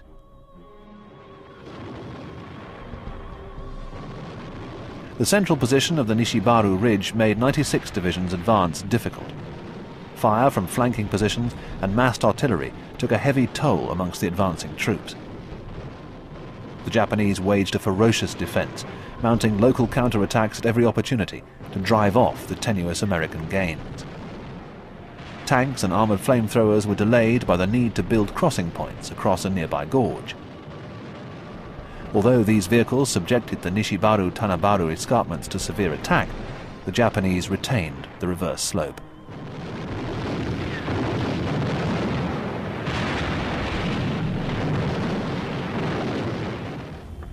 Like the rest of the Machinato line, the Nishibaru position finally fell with relative ease on the 24th of April, as 32nd Japanese Army withdrew to the inner Shuri defense line. Ushijima's reason for this decision was the realization that the Americans were on the verge of penetrating his outer defensive ring. Rather than allowing the Americans to seize the initiative and fight a fluid battle in the open, where their firepower would devastate Japanese forces, Ushijima decided to force them to fight another costly frontal battle against well-prepared defences.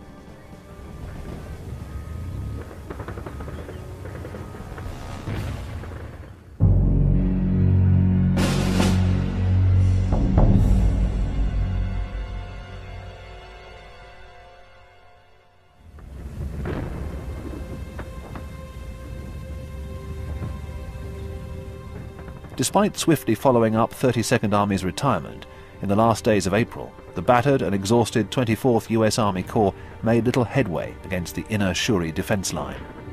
Facing the strongest Japanese defenses in the Pacific War, Lieutenant General Buckner decided to relieve the 27th and 96th Divisions by sending 3rd Amphibious Corps south. Buckner's actions sparked controversy. The senior Marine officer, Major General Roy Geiger, argued for using his forces in an outflanking operation, with landings on the Minatoga beaches. Once ashore, the Marines could collapse the exposed Japanese defences from the rear with relative ease. While there were strong arguments for the Marines' amphibious manoeuvre, planners of the Navy and of 10th Army had legitimate reservations. The troops of 24th Corps were close to collapse. This would have left only two divisions of 3rd Amphibious Corps for landings against the strongly defended beaches around Minatoga. Above all, it was the naval commanders whose opinion counted most. They were adamant that in the face of heavy enemy air attacks, they could not spare the covering forces necessary to protect another transport group off Okinawa. In an ironic twist, unknown to the Americans, Ushijima had already moved the 24th Division from the Minatoga sector to reinforce the battered 62nd Division before Shuri.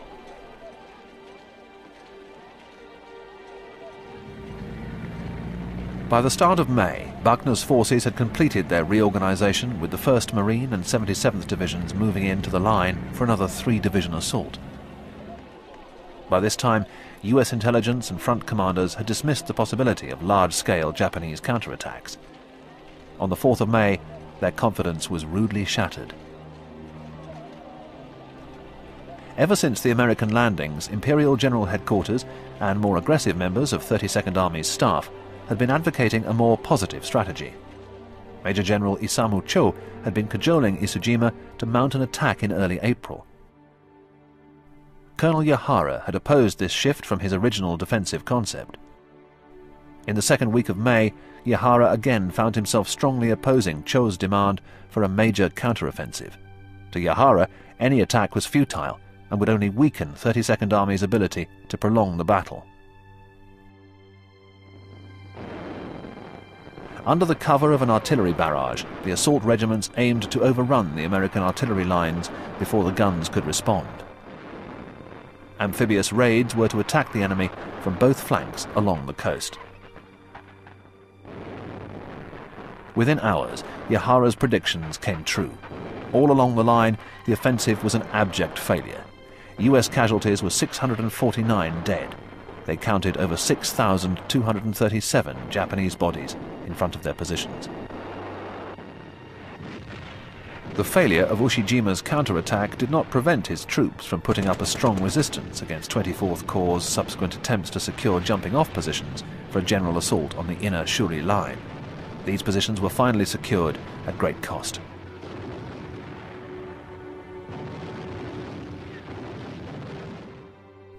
Buckner then reinforced his front with the 6th Marine Division and replaced 7th Division with the 96th. Orders were issued for an attack to envelop the Shuri line from east and west on the 11th of May. By now, US forces had adapted their tactics to the unique situation on Okinawa. General artillery barrages were rejected in favour of pinpoint fire against specific targets. VT proximity shells that burst directly over enemy trenches, showering them with lethal splinters, were also rushed to Okinawa. Infantry tank teams were extensively deployed where ground permitted. Most effective was the combination of small arms fire to neutralize enemy positions, so that infantry teams using flamethrowers and demolition charges could destroy the enemy in what Buckner termed blowtorch and corkscrew tactics.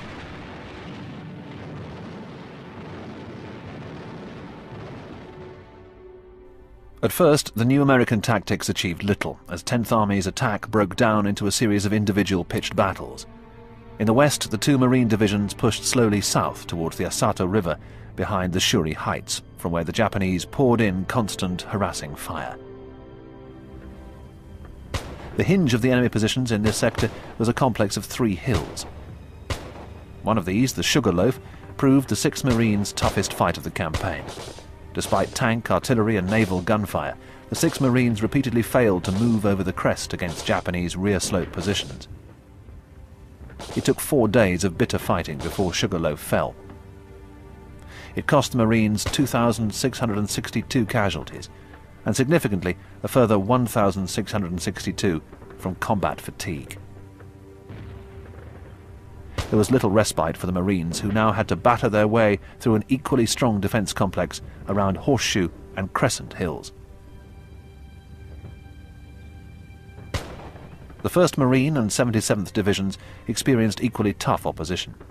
Yet, in an attack on the Dakeshi Ridge, the Marines demonstrated that they were learning how to deal more effectively with Japanese tactics.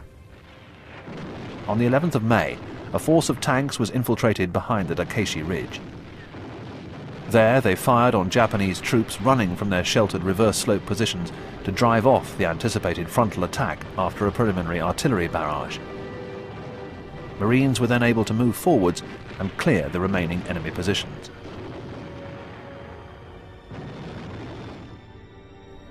The 10th Army's decisive breakthrough during the 10-day battle before the Shuri line came unexpectedly in the east from 96th Division. The key to the Japanese defences in this sector was Conical Hill. The Corps and divisional commanders believed that only an attack from the west could succeed because of enemy positions on high ground dominating the eastern approaches to the position. In the end, Conical Hill was taken from the east. Two platoon commanders chose to surprise the enemy by attacking through a stronger natural position, which they correctly guessed was only lightly defended. With Conical Hill taken, US forces were in a position to race into the Japanese rear and envelop Shuri.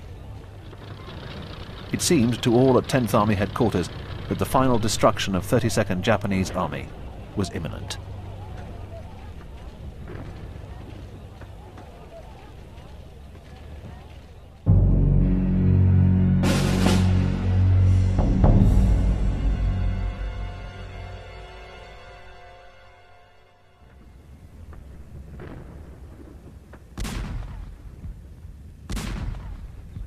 In mid-May, it became clear to Lieutenant General Ushijima that American forces were close to achieving a breakthrough of his last defensive line. ignoring the advice of Major General Cho and his staff for a last-ditch defense centered on Shuri, Ushijima ordered a withdrawal to fresh positions in the south.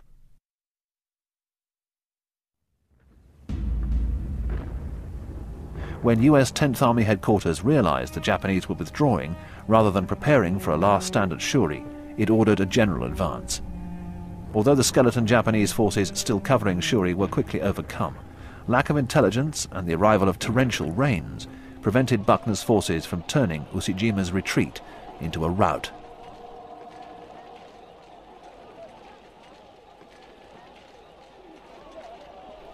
Buckner's optimism that the Japanese would not be able to establish another strong defense line was quickly proved wrong. The few days' preparation afforded to the Japanese by the slow American pursuit enabled them to move into position on a massive escarpment comprising two formations, Yusadake and Yeizudake. By this stage of the campaign, 32nd Army had only 14,000 troops, albeit with substantial fire support, to defend this formidable position with its 100-foot northern cliff face. Despite the futility of their position and the horrendous losses they had suffered, Ushijima's men were still ready to obey orders, to fight to the death.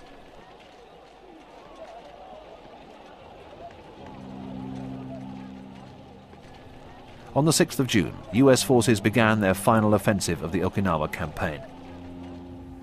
In the west, 1st Marine Division began a grueling six-day battle on the Oroku Peninsula to eliminate the Naval Defense Force, which had chosen to die on its own rather than with the army. In the center, fierce fighting pushed the US 96th Division to take a low ridge below the main Yuza escarpment, which was needed as a jumping-off point for the main assault. One company of the 381st Regiment suffered over 50% casualties trying to cross open ground from pre-registered enemy guns before being forced to retire. Over five days, the American division made only marginal gains.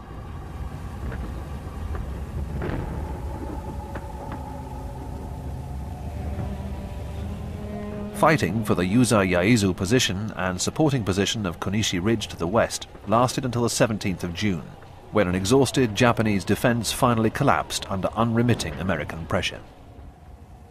Japanese resistance continued over the next week, but with the last major defensive positions in American hands, opposition usually consisted of small, isolated pockets holding out against well-organized combat units with tank support.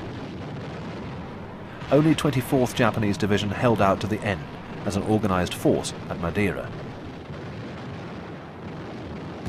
For the rest of the time, the battle became a manhunt, with Ushijima's disorganized forces fleeing before guns and flamethrowers, or surrendering in rising numbers.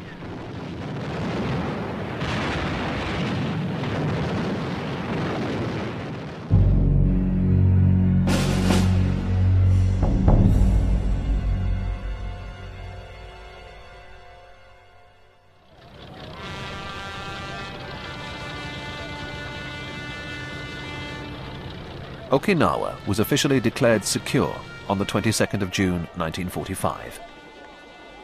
Neither of the two land commanders lived to witness the American victory. Ushijima took his own life by ritual suicide rather than endure the dishonor of surrender. The Americans paid a high price for success on Okinawa. Over 7,213 soldiers and marines were killed, and another 31,000 wounded.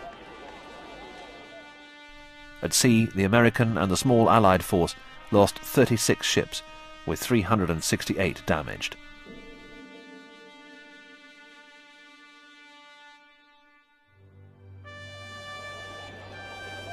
Japanese losses dwarfed those of the Americans. Around 110,000 men lost their lives, and 7,400 were taken prisoner. Over 7,800 planes were lost to just 773 American aircraft.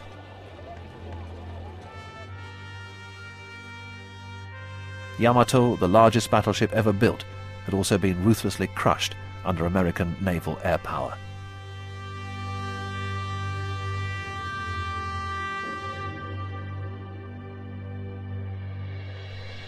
As the bitter campaign for Okinawa was fought out from April to June 1945, Japanese and American planners prepared for the final battle on the Japanese home islands.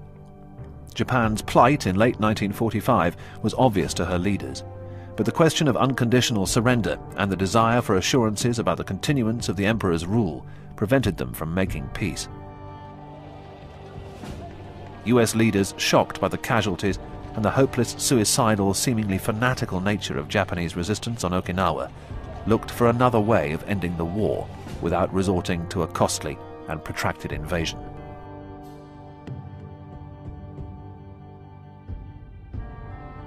In defending the home islands, Imperial General Headquarters faced the dilemma that it could not adopt the passive tactics utilized on Okinawa.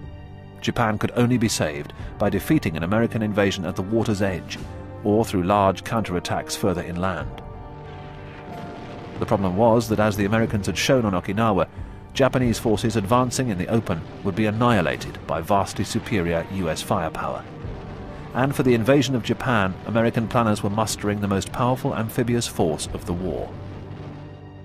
As a result, US planners estimated their casualties for the decisive phase of the invasion at 126,000. Heavy as the figure may seem, it was no greater than many other battles of the Second World War, Yet the cost of Okinawa continued to haunt many American leaders. After the successful detonation of an atomic device on the 16th of July, they had a new and more powerful weapon with which to break Japanese resolve in a series of shock attacks. Consequently, on the 6th of August, at Hiroshima, the first atomic bomb was dropped. And on the 9th of August, Nagasaki was destroyed by a second atomic weapon.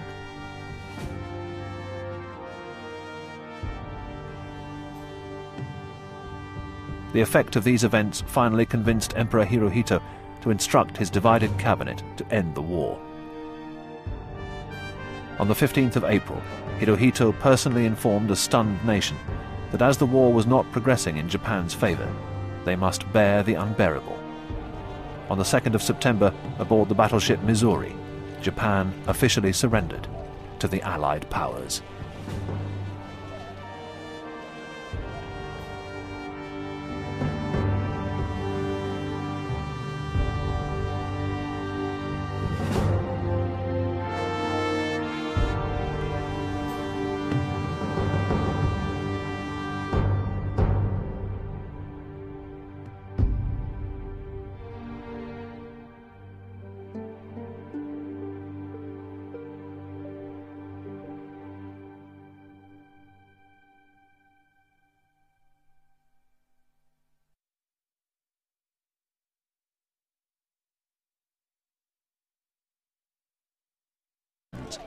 East-west limestone plateau and ridges formed natural and mutually supporting lines of defence.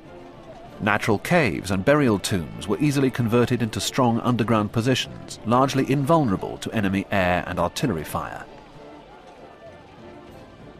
To man these defences, 32nd Army had 65,000 regular troops and 8,800 naval personnel.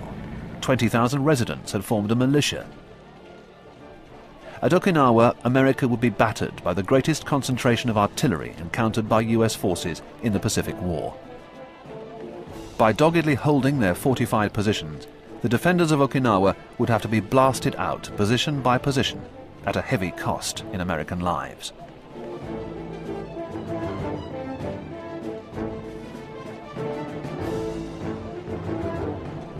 As the forces on Okinawa prepared to sacrifice themselves, Imperial General Headquarters prepared to implement its Tenichigo plan.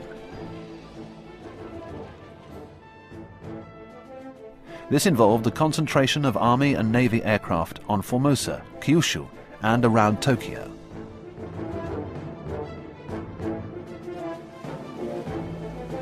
With the Navy providing the bulk of these forces, Army air units were placed under direct control of the commander of the combined fleet, Admiral Toyoda.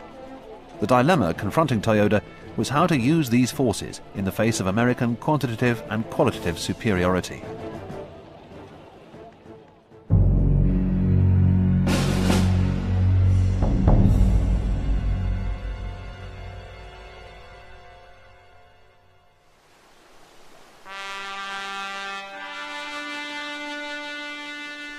Although the battle for Okinawa was ultimately decided on land, the most original tactical and technological developments were in the air and at sea. By 1945, the quality of Japanese pilots had slumped. The Imperial Navy was all but irrelevant as a fighting force. As a result, the Japanese High Command decided on the widespread adoption of new forms of the kamikaze tactic.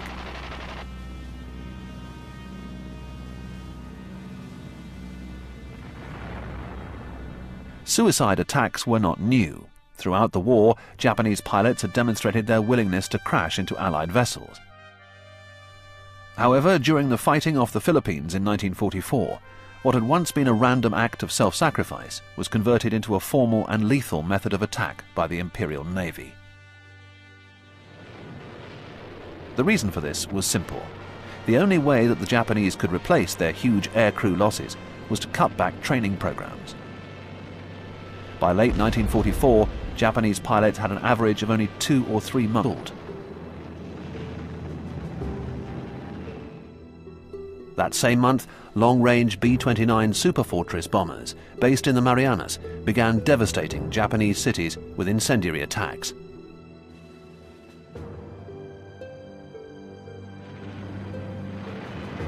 At sea, American submarines and aircraft inflicted savage losses upon Japan's merchant navy. The imminent collapse of imports of raw materials threatened Japan's ability to continue the war by denying her the weapons to fight. Even more ominous were the resulting shortages in foodstuffs. Japan's leaders were acutely aware that by 1946 domestic food stocks would be exhausted. Faced with starvation, there was a very real possibility that the traditional social and political order of Japan would be turned upside down.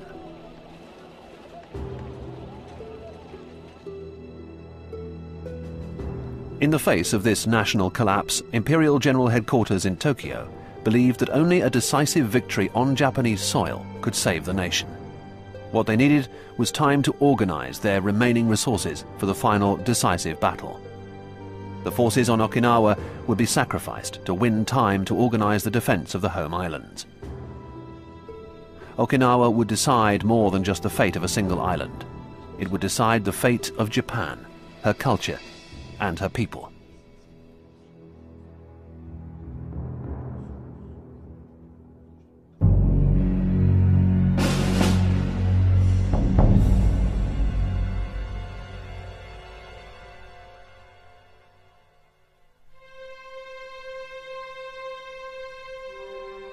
In the struggle for Okinawa, the Americans relied upon a number of experienced naval and army officers. Many of these senior commanders had served in the hard campaigns of the early years of the war, when the Japanese had been in the ascendant.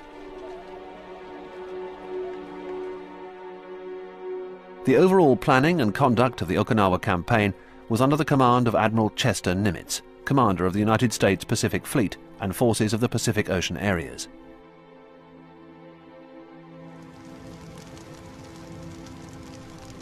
After the devastation of Pearl Harbor in December 1941, Nimitz took control of a demoralized Pacific fleet.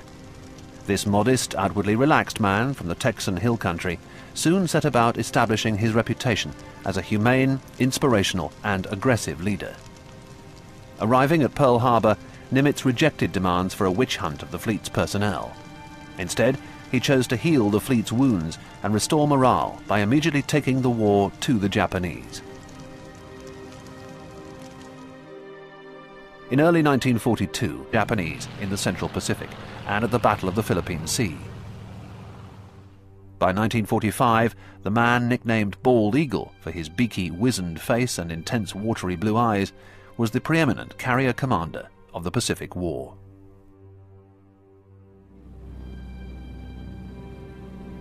Mitscher was a demanding battle commander. He instilled his carrier groups with an alert and keen edge by insisting that they always operate as if battle were imminent. Despite his slavish attention to detail, Mitscher gave his carrier commanders extensive scope to use their initiative.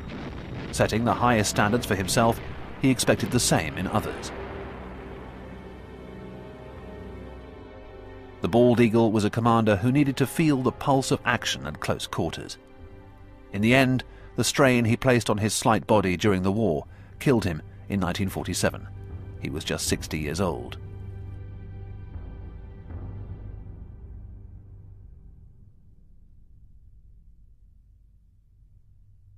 If Mitscher was Spruance's right-hand man, then equally inseparable from the US Navy's success was the less attractive figure of Vice Admiral Richmond Kelly Turner.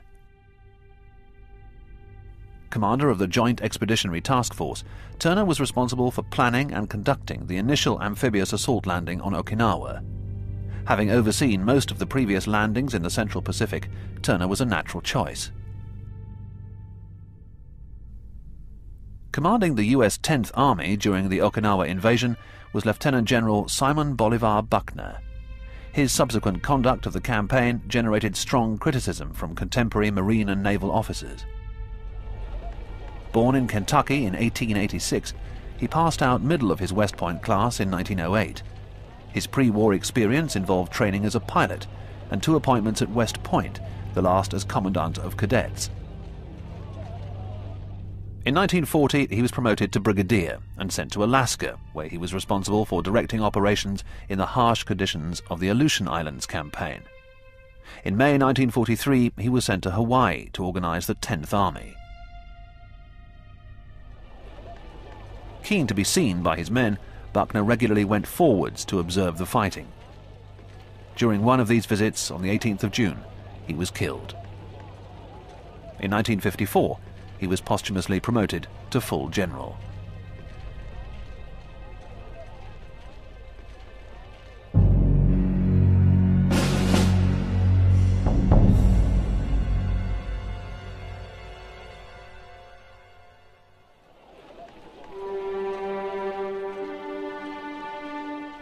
The Japanese commanders, who struggled to save Okinawa and Japan in swiftly following up 32nd Army's retirement, in the last days of April, the battered and exhausted 24th US Army Corps made little headway against the inner Shuri defense line. Facing the strongest Japanese defenses in the Pacific War, Lieutenant General Buckner decided to relieve the 27th and 96th Divisions by sending 3rd Amphibious Corps south. Buckner's actions sparked controversy. The senior Marine officer, Major General Roy Geiger, argued for using his forces in an outflanking operation, with landings on the Minatoga beaches. Once ashore, the Marines could collapse the exposed Japanese defences from the rear with relative ease. While there were strong arguments for the Marines' amphibious manoeuvre, planners of the Navy and of 10th Army had legitimate reservations. The troops of 24th Corps were close to collapse. This would have left only two divisions of 3rd Amphibious Corps for landings against the strongly defended beaches around Minatoga. Above all, it was the naval commanders whose opinion counted most. They were adamant that in the face of heavy enemy air attacks, they could not spare the covering forces necessary to protect another transport group off Okinawa. In an ironic twist, unknown to the Americans, Ushijima had already moved the 24th Division from the Minatoga sector to reinforce the battered 62nd Division before Shuri.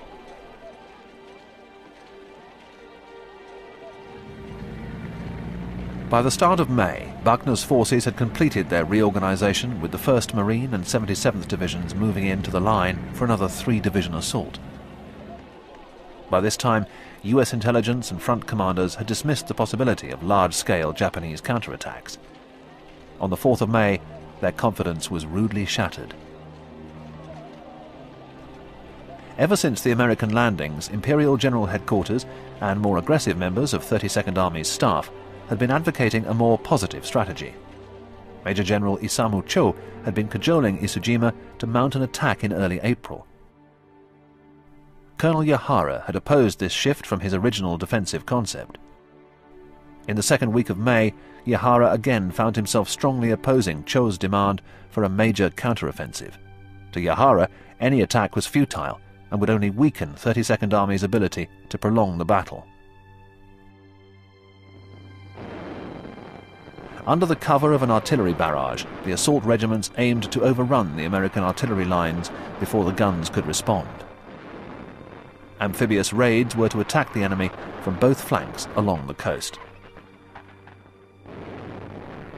Within hours, Yahara's predictions came true. All along the line, the offensive was an abject failure. US casualties were 649 dead. They counted over 6,237 Japanese bodies in front of their position before landing. At 8.42 a.m., the first wave hit the Hagushi beaches. Throughout the day, this choreographed landing procedure continued as successive waves formed on the departure line and then made for the shore. In the first hour, 16,000 troops were landed. By nightfall, 60,000 troops, with stores, vehicles and artillery, were secured in a large bridgehead. The opening day of Operation Iceberg had surpassed all expectations. Airfields at Yontan and Kadena were secured at a cost of relatively few casualties. The night, however, was eerily quiet. US commanders were puzzled. Why hadn't the anticipated Japanese retaliation started? Where was the enemy?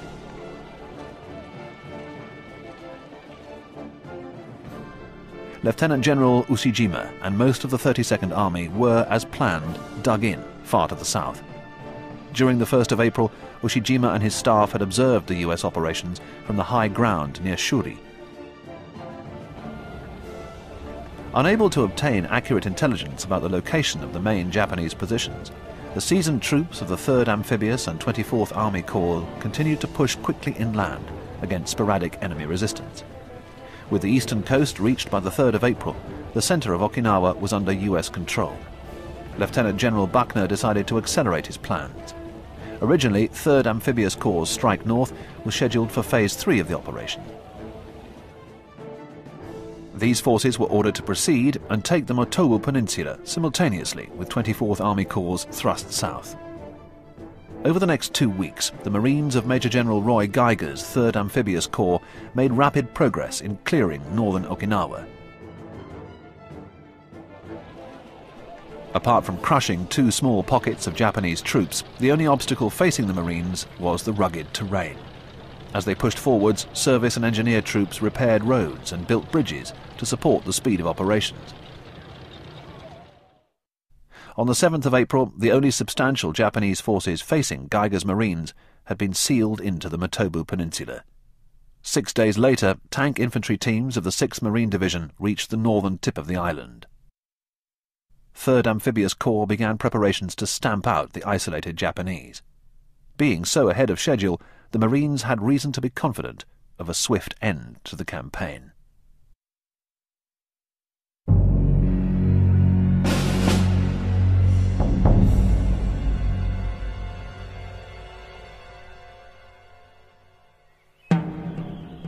Hopes of a swift land victory were extinguished as the 7th and 96th Divisions of 24th Army Corps reached the outer positions of Ushijima's. Soon afterwards, Tanagawa, directing the battle from the pinnacle, was ready for B Company's third attack, seen massing below. So concerned was Tanagawa in dealing with the threat from his front that he completely missed C Company's attack from the flank until it was too late the US troops swarmed over the ridge, systematically wiping the enemy out with grenades and flamethrowers. The fighting at the pinnacle established a pattern in which the Japanese proved extremely effective at dealing with frontal attacks, but very poor at responding to flanking movements. As the fight for the pinnacle raged on, further west the 96th Division had been heavily engaged around the feature dubbed Cactus Ridge. This position caused considerable problems because of its anti-tank moat and mined approaches that again restricted the direction of the US attack. Consequently, the American officers assigned to take the ridge decided that a stand-up frontal charge was the only option. Over the next 24 hours, several such American banzai charges placed the ridge in their hands. The battle for Okinawa was to see a combination of the subtle tactics at the pinnacle and the direct assault used at Cactus Ridge. Over the next few days, Hodge's divisions continued their increasingly slow move south against the outer works of 32nd Army's main line around Shuri. During fighting for the Tomb and Triangulation Hills, the 7th Division ran into crippling Japanese artillery fire. The barrage devastated the American tactic of using infantry tank teams by driving the infantry back and disabling the tanks, whose trapped crews were then bayoneted.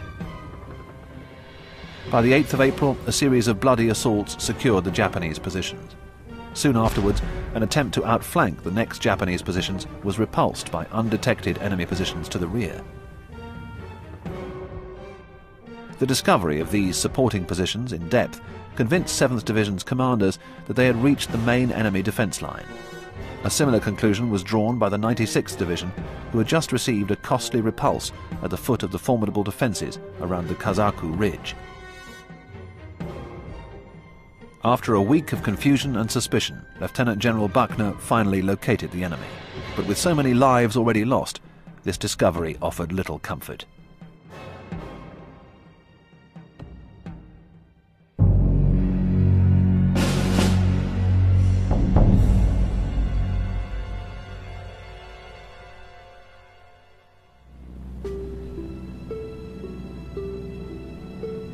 While the US 10th Army probed towards the main Japanese positions on Okinawa, the vast armada of ships continued to unload troops and supplies. Great use was made of VT, or proximity fuses, installed in anti-aircraft shells. Before VT fuses were introduced, anti-aircraft fire required the shell to be delivered near the target, and its detonation by a timer fuse set to the right distance. The VT fuse made destroying enemy aircraft easier by deciding the distance from the target via electrical waves reflected off the surface of the target. The combination of radar, inexperienced Japanese aircrew, and their aircraft's lack of armour transformed the VT fuse into a lethal weapon against Japanese air attacks.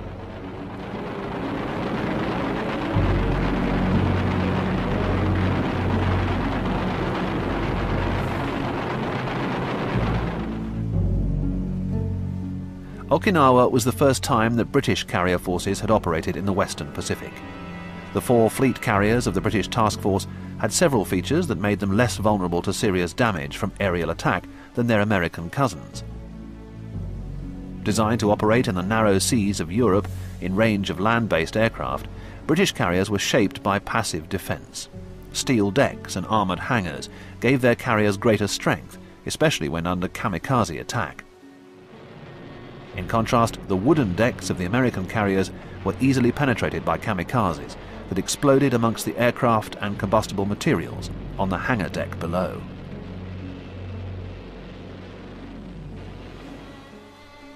Despite greater resilience to direct hits, British carriers inflicted far less damage than their American counterparts. Armoured hangars reduced the number of aircraft that could be carried, this made it difficult to deploy strong fighter cover over the British fleet. In offensive operations, lack of numbers meant that enemy ground defences could not be saturated. Consequently, during the Okinawa campaign, the British suffered proportionately higher rates of loss than American air groups.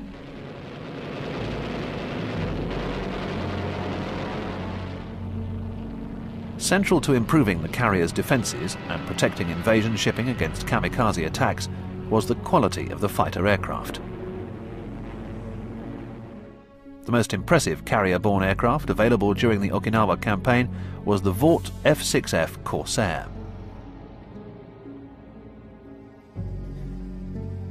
Generally recognized as the finest fighter of the Second World War, development of the Corsair began as early as 1938. The first production model didn't make its initial flight until the 25th of June 1942.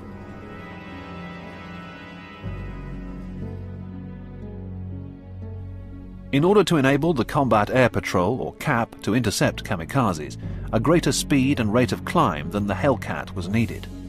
Completed their reorganization with the 1st Marine and 77th Divisions moving into the line for another three-division assault. By this time, US intelligence and front commanders had dismissed the possibility of large-scale Japanese counterattacks. On the 4th of May, their confidence was rudely shattered. Ever since the American landings, Imperial General Headquarters and more aggressive members of 32nd Army's staff had been advocating a more positive strategy. Major General Isamu Cho had been cajoling Ushijima to mount an attack in early April. Colonel Yahara had opposed this shift from his original defensive concept. In the second week of May, Yahara again found himself strongly opposing Cho's demand for a major counteroffensive. To Yahara, any attack was futile and would only weaken 32nd Army's ability to prolong the battle. Under the cover of an artillery barrage, the assault regiments aimed to overrun the American artillery lines before the guns could respond. Amphibious raids were to attack the enemy from both flanks along the coast. Within hours, Yahara's predictions came true. All along the line, the offensive was an abject failure. US casualties were 649 dead. They counted over 6,237 Japanese bodies in front of their positions. The failure of Ushijima's counterattack did not prevent his troops from putting up a strong resistance against 24th Corps' subsequent attempts to secure jumping-off positions for a general assault on the inner Shuri line. These positions were finally secured at great cost.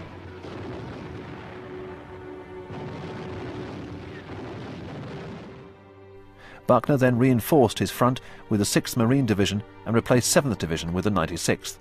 Orders were issued for an attack to envelop the Shuri line from east and west on the 11th of May.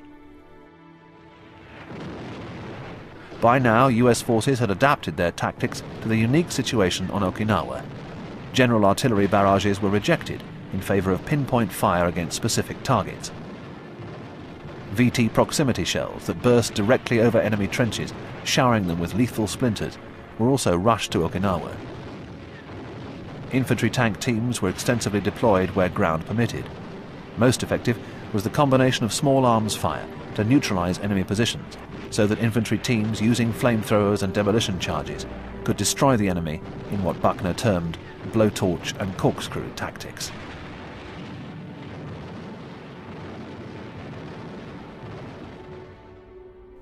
At first, the new American tactics achieved little, as 10th Army's attack broke down into a series of individual pitched battles. In the west, the two Marine divisions pushed on Kyushu. Vice Admiral Ugaki had initially been ordered to disperse his aircraft and avoid attacking the Americans in order to conserve his strength for the coming Battle of Okinawa. Alerted that Task Force 58 had sorted from Ulithi, he knew it would be impossible to preserve his forces against four enemy task groups. Locating the Americans late on the 17th, the following day Ugaki launched a dawn attack against Rear Admiral Radford's task group.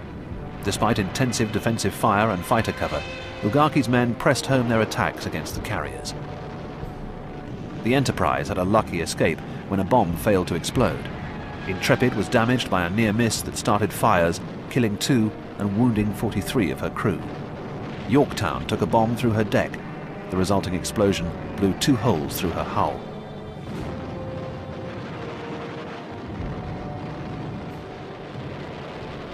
The deadly duel continued the following day as Task Force 58's aircraft struck further north at Japanese merchant and warships at Kure and Kobe.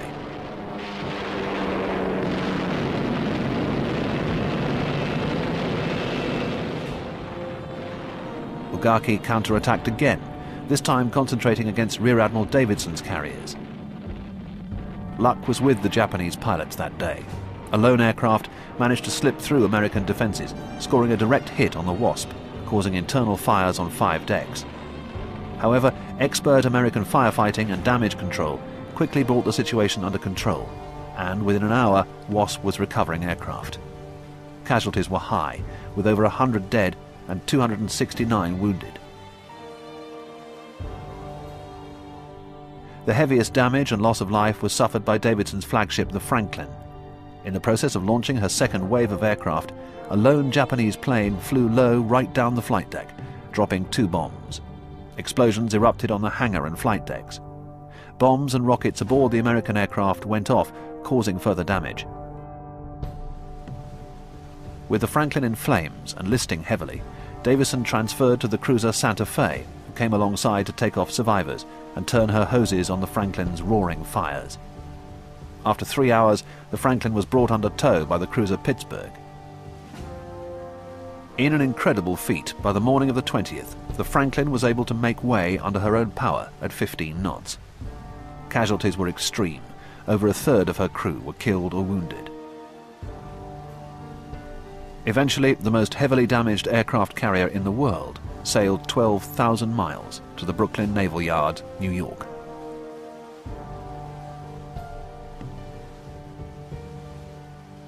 But before the Franklin was safe, she had to get out of reach of the enemy's aircraft.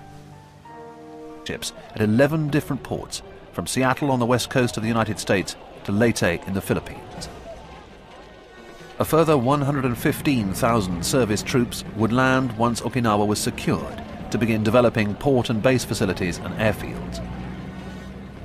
Including naval forces by the end of the campaign, 548,000 personnel participated in the campaign. They were supported by 318 combat vessels and 1,139 auxiliary ships.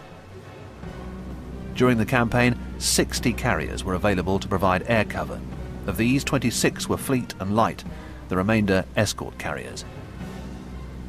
18 battleships and over 200 destroyers were used. During operations between March and June 1945, Spruance's Fifth Fleet consumed more fuel than Japan imported in 1944.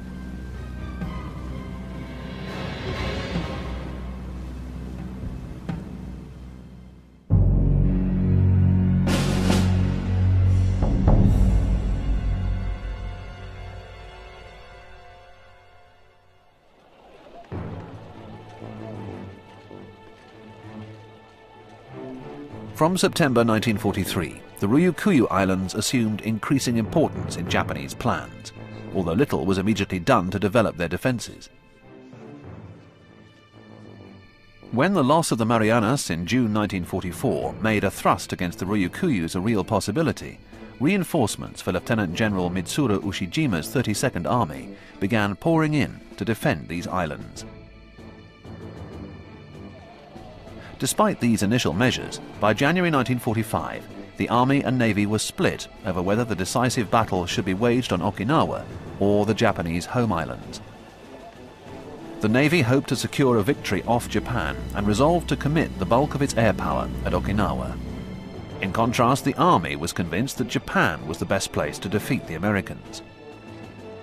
Accordingly, troops were steadily withdrawn from Okinawa and promised reinforcements never materialized. This inter-service quarrel gradually made it clear to Ushijima that his forces were going to be sacrificed. He abandoned his existing plans to defeat an American invasion at the shoreline.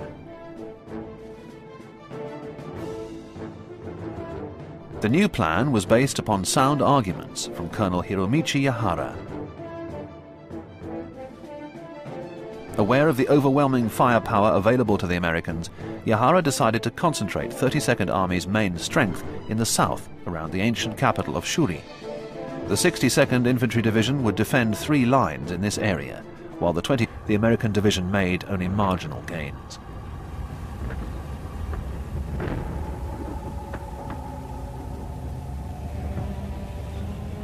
Fighting for the Yuza Yaizu position and supporting position of Kunishi Ridge to the west lasted until the 17th of June, when an exhausted Japanese defense finally collapsed under unremitting American pressure.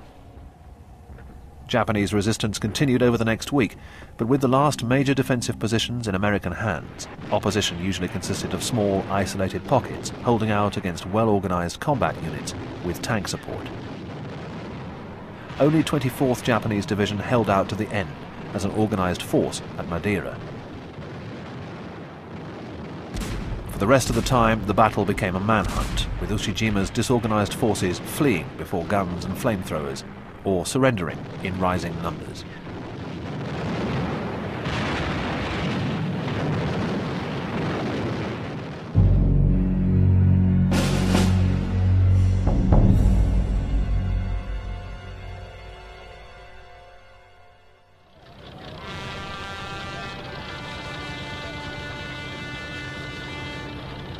Okinawa was officially declared secure on the 22nd of June 1945.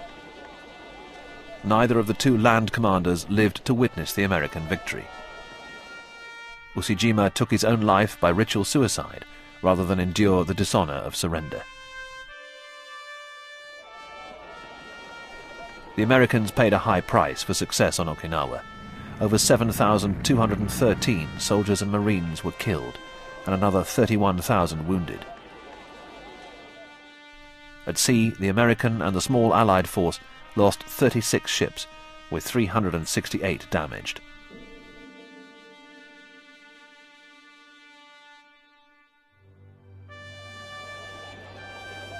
Japanese losses dwarfed those of the Americans. Around 110,000 men lost their lives, and 7,400 were taken prisoner.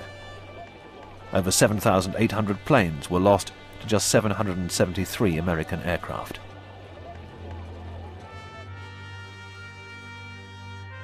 Yamato, the largest battleship ever built, had also been ruthlessly crushed under American naval air power.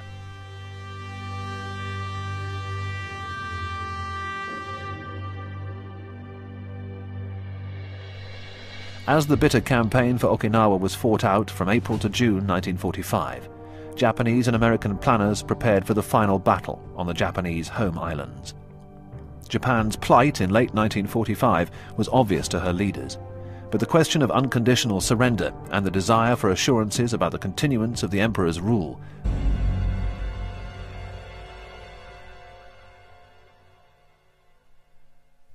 On Okinawa, as Buckner prepared for a major attack on the main Japanese defences in the south, final plans to secure the north of the island were made.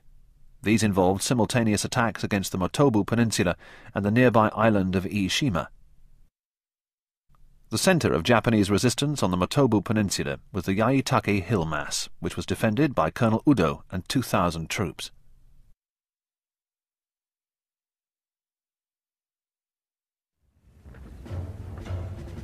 Initially, the 6th Marine Division's operations were hampered by low cloud cover and dense vegetation, preventing aerial reconnaissance from locating Udo's main position.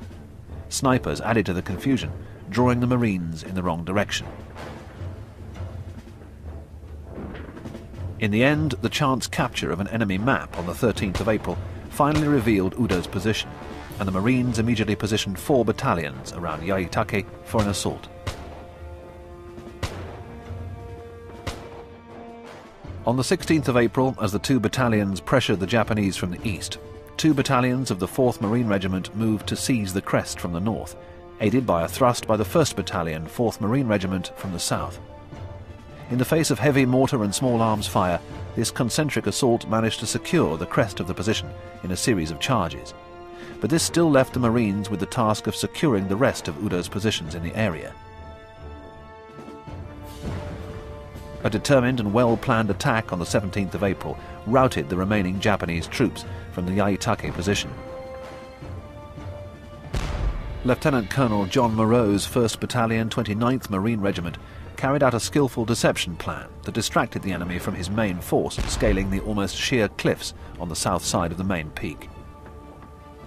By evening, two companies held the summit. At the same time, the 4th Marines moved rapidly north through enemy positions, killing 700 Japanese. Counter-guerrilla operations against remaining small pockets of Japanese continued well into May, when the 6th Marine Division was shifted south to the main battle.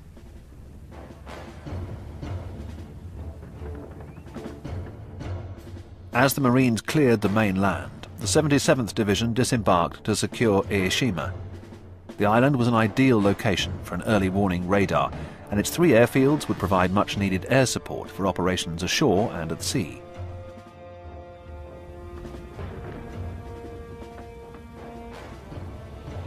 Assuming the best beaches would be heavily defended, the division landed under naval gunfire at a less favourable landing site, catching the Japanese by surprise. But the advantage was short-lived. The main Japa war with the United States by launching a surprise attack against the US Pacific Fleet at Pearl Harbor in the Hawaiian Islands.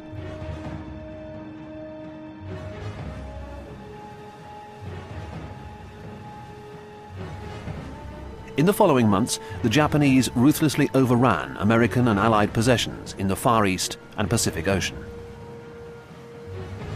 Yet by the spring of 1945, the tide of war had turned a seemingly unstoppable American military whirlwind was thundering across the Pacific Ocean towards the shores of the Japanese home islands, threatening total defeat.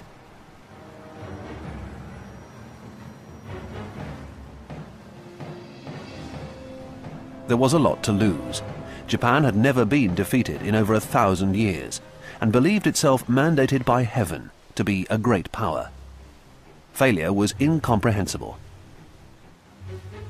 Despite the desperation of their position, Japan's leaders resolved to stop the American colossus at the gates.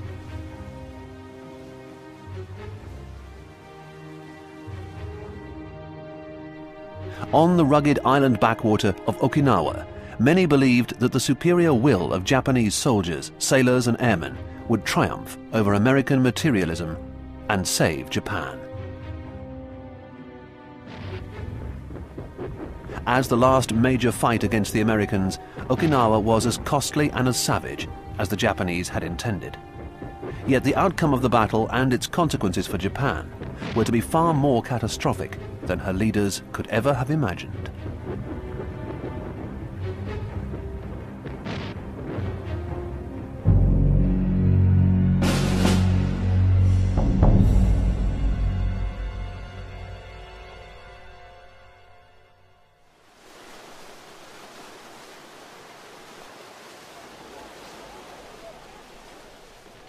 On the 20th of November 1943, US Marine and Army forces, under the strategic direction of Admiral Chester Nimitz, invaded the outermost point of the Japanese defensive perimeter in the Pacific.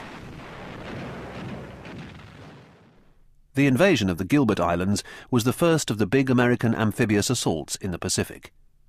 The bloody fighting on Tarawa demonstrated the ability of new American naval, air, and ground forces to attack and overwhelm almost at will any part of the Japanese defense line.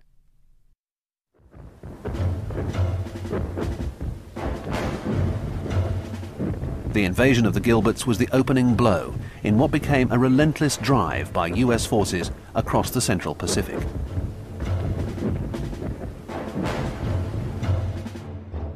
In January and February 1944, the Marshall Islets of Three Hills. One of these, the Sugarloaf, proved the Six Marines' toughest fight of the campaign. Despite tank, artillery and naval gunfire, the Six Marines repeatedly failed to move over the crest against Japanese rear slope positions. It took four days of bitter fighting before Sugarloaf fell. It cost the Marines 2,662 casualties, and significantly, a further 1,662 from combat fatigue. There was little respite for the Marines, who now had to batter their way through an equally strong defence complex around Horseshoe and Crescent Hills. The 1st Marine and 77th Divisions experienced equally tough opposition. Yet, in an attack on the Dakeshi Ridge, the Marines demonstrated that they were learning how to deal more effectively with Japanese tactics. On the 11th of May, a force of tanks was infiltrated behind the Dakeshi Ridge. There they fired on Japanese troops running from their sheltered reverse slope positions to drive off the anticipated frontal attack after a preliminary artillery barrage. Marines were then able to move forwards and clear the remaining enemy positions.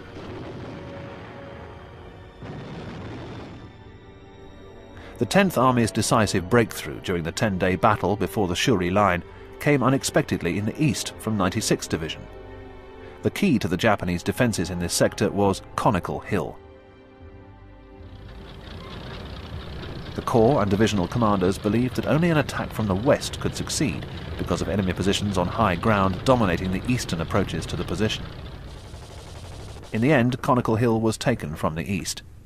Two platoon commanders chose to surprise the enemy by attacking through a stronger natural position, which they correctly guessed was only lightly defended. With Conical Hill taken, US forces were in a position to race into the Japanese rear and envelop Shuri. It seemed to all at 10th Army headquarters that the final destruction of 32nd Japanese Army was imminent.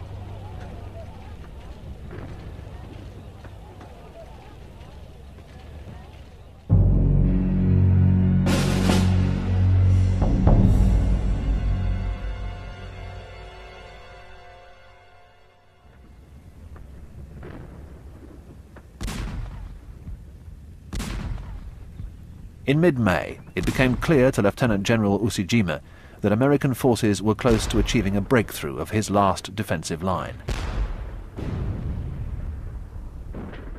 ignoring the advice of Major General Cho and his staff for a last-ditch defense centered on Shuri, Ushijima ordered a withdrawal to fresh positions in the south. 128 aircraft. The Japanese admitted to 163 lost. What is clear is that US carrier attacks against airfields on Kyushu followed a week later by intensive bombardment of the same targets by B-29 heavy bombers, prevented the Japanese mounting any effective air raids against the invasion forces off Okinawa until the 6th of April. It would be too late to strike before or during the preliminary and main landings.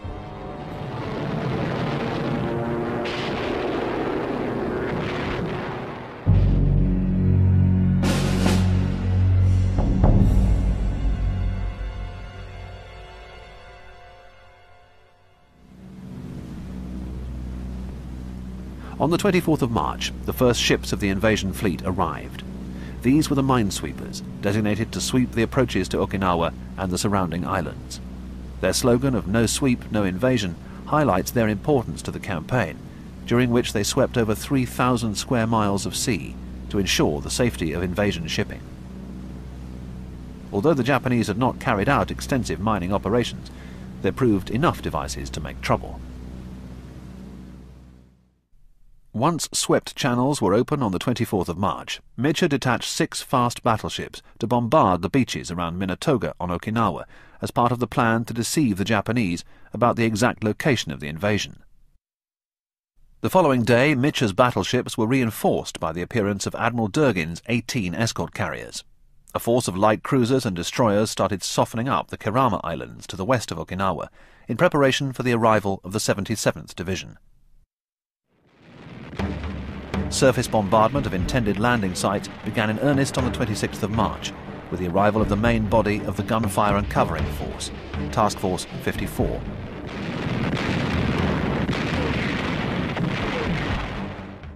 Steaming in four close columns through a 10-mile swept channel between the Keramas and Okinawa, Task Force 54 was an impressive sight.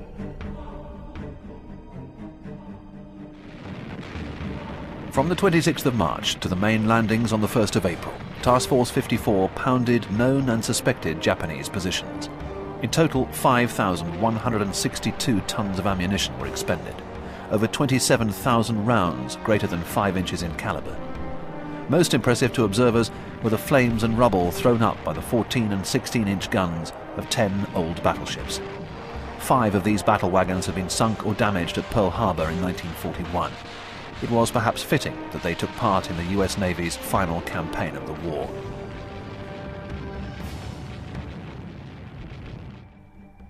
At 8.01 am on the 26th of March, the ground campaign erupted when four battalions of the 77th Division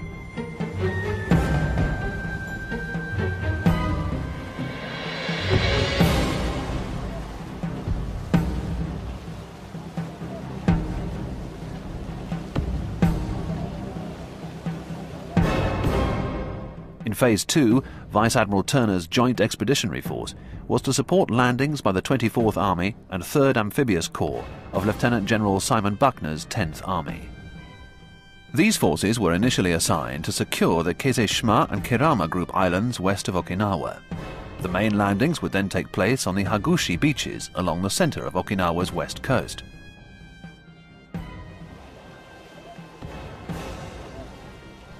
The second phase would end with the securing of the southern part of the island.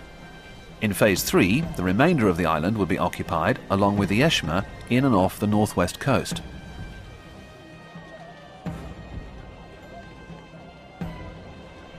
Iceberg was larger than any other operation of the Pacific War. 183,000 troops and 747,000 tons of supplies were loaded into over 430 assault vessels and landing ships at 11 different ports, from Seattle on the west coast of the United States to Leyte in the Philippines. A further 115,000 service troops would land once Okinawa was secured to begin developing port and base facilities and airfields. Including naval forces by the end of the campaign, 548,000 personnel participated in the campaign. They were supported by 318 combat vessels, and 1,139 auxiliary ships.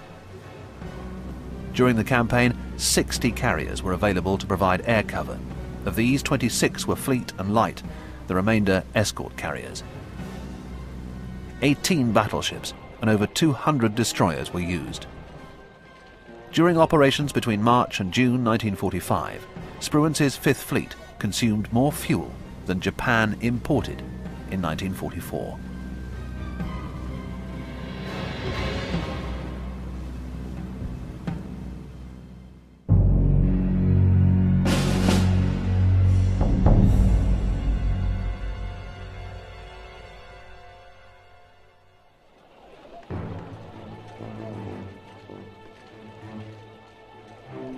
From September 1943, the Ryukyu Islands assumed increasing importance in Japanese plans, although little was immediately done to develop their defences.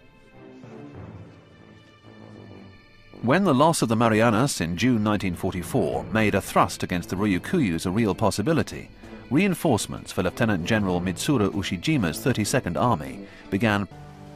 But before the Franklin was safe, she had to get out of reach of the enemy's aircraft. Determined to bring the damaged carrier home, Vice Admiral Mitscher ordered his forces to retire slowly and provide cover. On the afternoon of the 20th of March, Ugaki, sensing the chance to finish off the crippled American ship, attacked again. US fighter sweeps over Japanese airfields prevented any major attacks being launched, and consequently only the destroyer Halsey Powell was hit. Enterprise again escaped two near misses, only to receive damage from US guns when other ships trying to knock down an enemy plane aimed too low and hit her.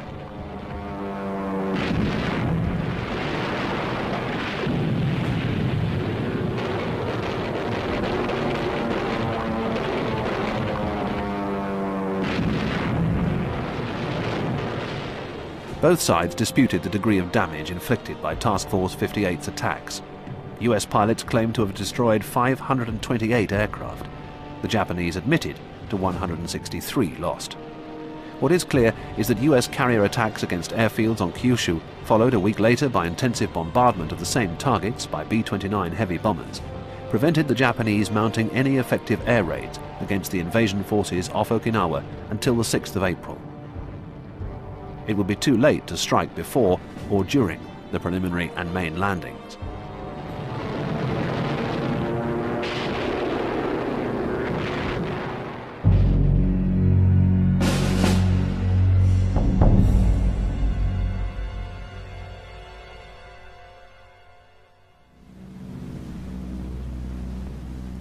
On the 24th of March, the first ships of the invasion fleet arrived. These were the minesweepers, designated to sweep the approaches to Okinawa and the surrounding islands. Their slogan of no sweep, no invasion highlights their importance to the campaign, during which they swept over 3,000 square miles of sea to ensure the safety of invasion shipping.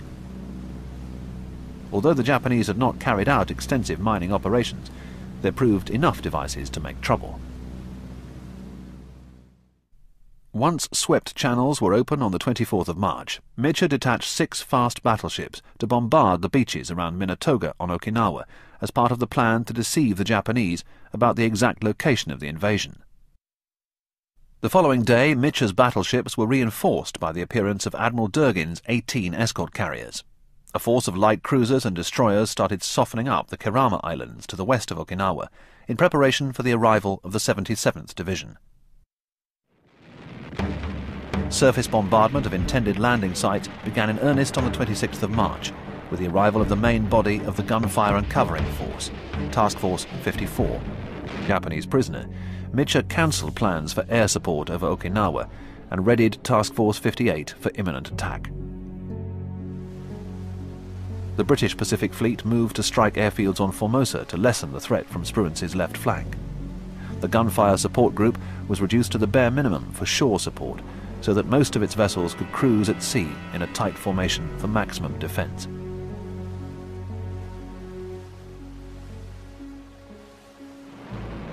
On the 11th of April, the Allies met the resolute attacks of 185 kamikazes and 45 torpedo bombers.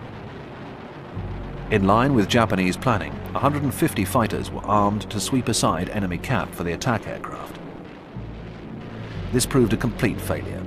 North of Okinawa, US fighters outgunned their less experienced opponents in a series of fierce skirmishes that cost the Japanese nearly a quarter of their aircraft.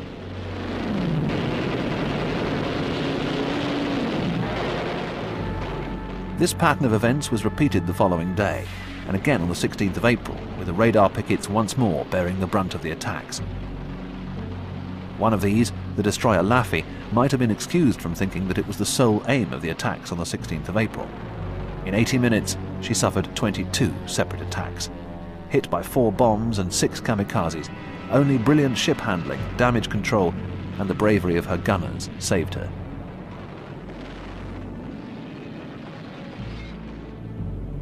Over this three-day aerial assault, two destroyers were sunk and ten were damaged.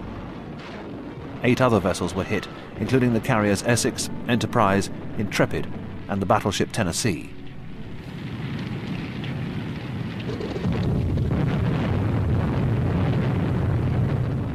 The next Kikusui raids were not mounted until the 28th and 29th of April, while the Japanese replenished their exhausted air units. Even so, every day throughout April, the US Navy and the British Pacific Fleet were attacked by up to 20 planes exacted a small but steady toll.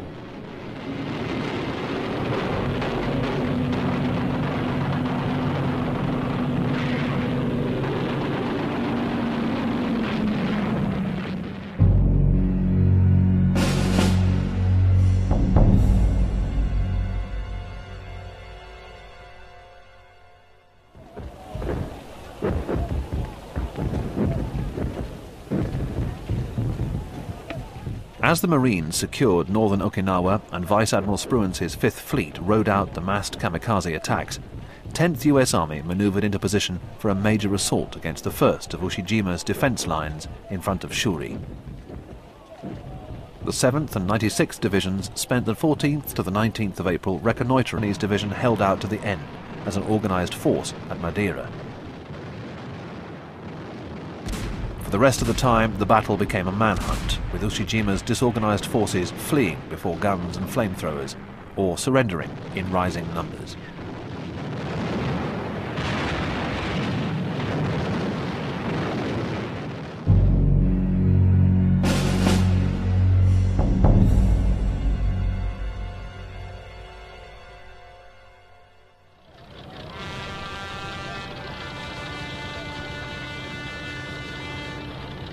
Okinawa was officially declared secure on the 22nd of June 1945.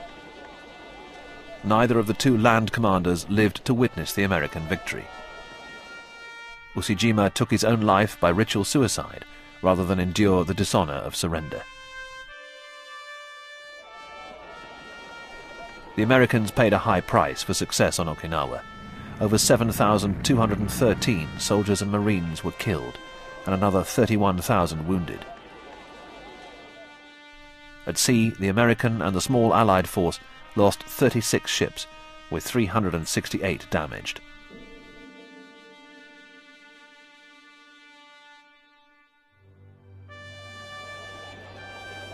Japanese losses dwarfed those of the Americans.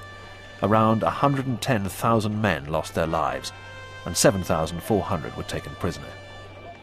Over 7,800 planes were lost to just 773 American aircraft.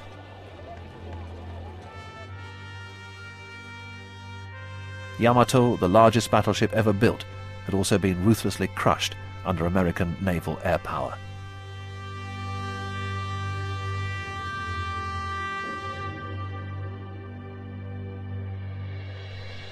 As the bitter campaign for Okinawa was fought out from April to June 1945, Japanese and American planners prepared for the final battle on the Japanese home islands. Japan's plight in late 1945 was obvious to her leaders, but the question of unconditional surrender and the desire for assurances about the continuance of the emperor's rule prevented them from making peace. US leaders, shocked by the casualties and the hopeless, suicidal, seemingly fanatical nature of Japanese resistance on Okinawa, looked for another way of ending the war without resorting to a costly and protracted invasion.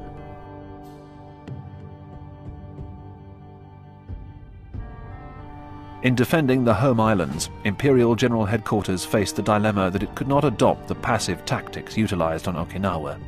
Japan could only be saved by defeating an American invasion at the water's edge, or through large counterattacks further inland.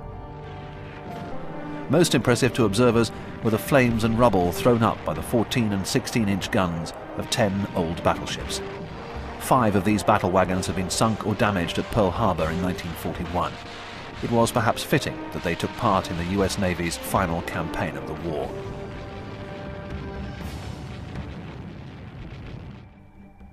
At 8.01 am on the 26th of March, the ground campaign erupted when four battalions of the 77th Division began landing on the Kerama Islands. These small land masses were unsuitable for airfields and could not support large concentrations of troops but the roadsteads between the islands offered anchorages for fleet supply and repair vessels, minesweepers and their tenders, landing craft and boat pools.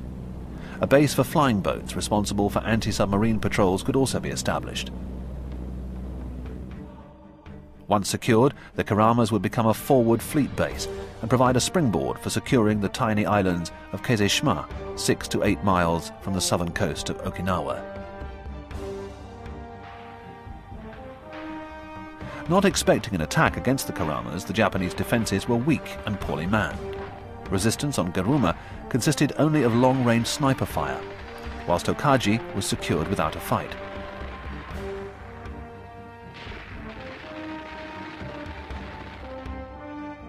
By early afternoon, Yakabi was secured. Over the next two days, Japanese troops had to be routed out of hills and caves on the Aka and Zamami Islands. The largest island, Tokashiki, was quickly secured, except for the continued resistance of the garrison in the hills.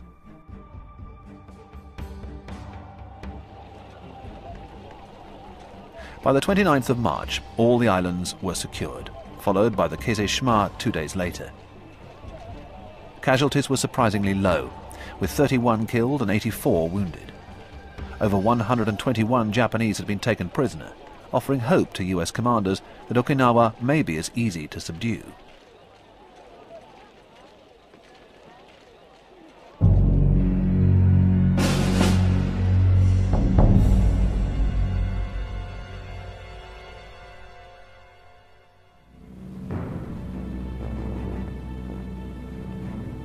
At dawn on Easter Sunday, the 1st of April, over 1,300 American ships packed the waters around Okinawa.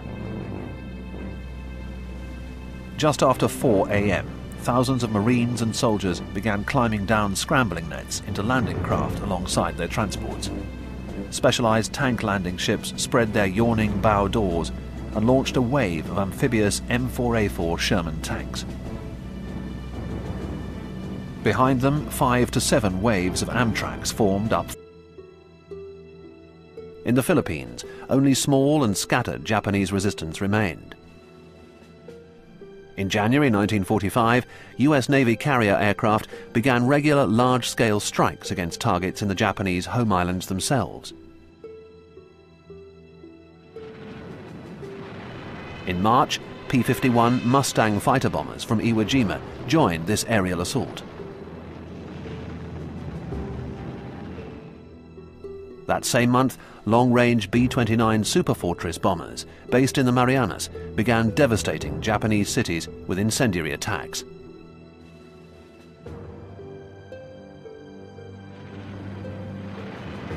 At sea, American submarines and aircraft inflicted savage losses upon Japan's merchant navy. The imminent collapse of imports of raw materials threatened Japan's ability to continue the war by denying her the weapons to fight. Even more ominous were the resulting shortages in foodstuffs. Japan's leaders were acutely aware that by 1946 domestic food stocks would be exhausted. Faced with starvation, there was a very real possibility that the traditional social and political order of Japan would be turned upside down.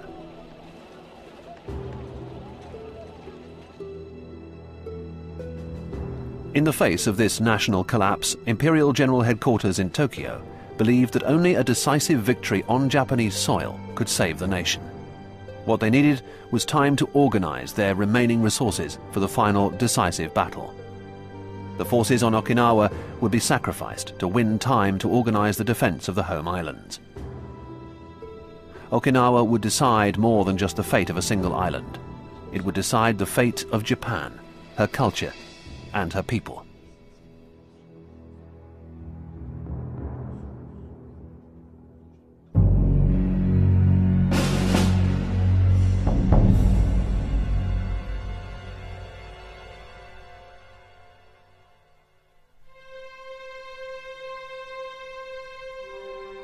In the struggle for Okinawa, the Americans relied upon a number of experienced naval and army officers.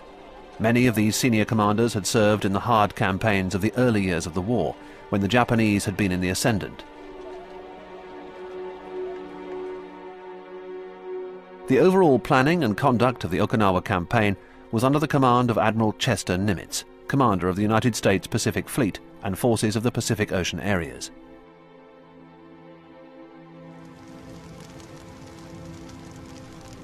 After the devastation of Pearl Harbor in December 1941, Nimitz took control of a demoralized Pacific fleet. This modest, outwardly armored hangars reduced the number of aircraft that could be carried. This made it difficult to deploy strong fighter cover over the British fleet. In offensive operations, lack of numbers meant that enemy ground defences could not be saturated. Consequently, during the Okinawa campaign, the British suffered proportionately higher rates of loss than American air groups.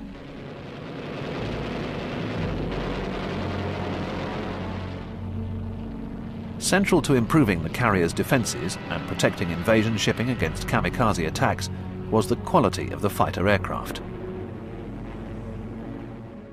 The most impressive carrier-borne aircraft available during the Okinawa campaign was the Vought F-6F Corsair.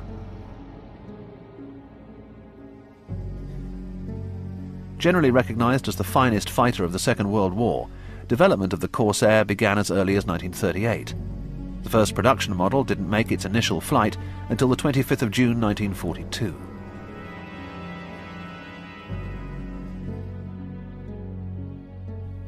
In order to enable the Combat Air Patrol, or CAP, to intercept kamikazes, a greater speed and rate of climb than the Hellcat was needed.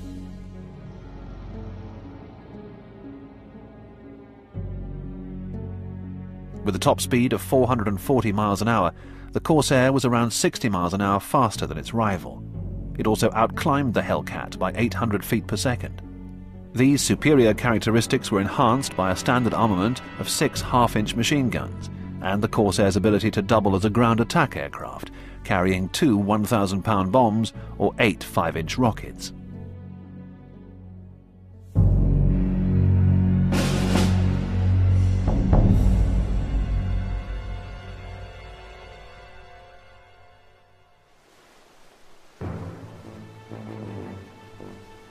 By mid-1943, with increasing production of fleet and light carriers, the number of available task groups rose dramatically.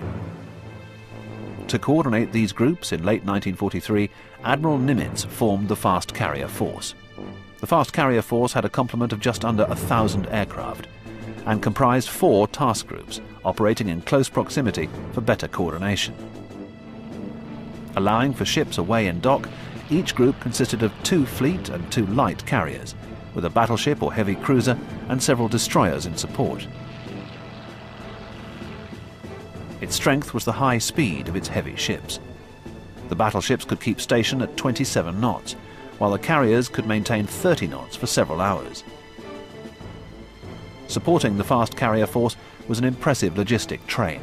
A fleet oiler and transport carrier group of 24 oilers provided fuel and replaced military academy before receiving his appointment on Okinawa. On taking up his post on Okinawa, Ushijima immediately set about preparing the island's defense and improving his troops' morale. His calm manner, integrity, and quiet confidence earned him the admiration of his subordinates. Second in command of the 32nd Army was Major General Isamu Cho, a hard-headed and aggressive officer, in the 1930s, Cho had been associated with extremist officers who advocated setting up a military dictatorship in the name of the emperor. Although arrested, he was soon released and his career prospered. As an officer in the Kwantung Army in Korea, Cho had been intimately involved in provoking war with China in the 1930s. He reportedly took a leading role in organizing the mass killing of over a quarter of a million Chinese civilians at Nanking in 1938. During the war, he held a number of staff appointments in China, Burma, and Malaya. He came to Okinawa from the Military Affairs Bureau of the War Department.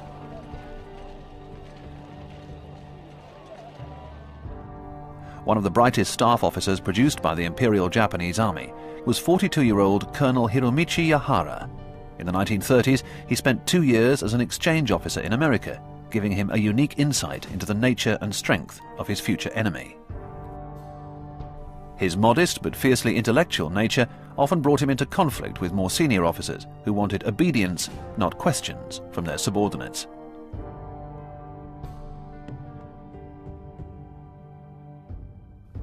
Admiral Soemu Toyoda led the Imperial Japanese Navy to a series of overwhelming defeats at the Philippine Sea and off the Leyte Gulf.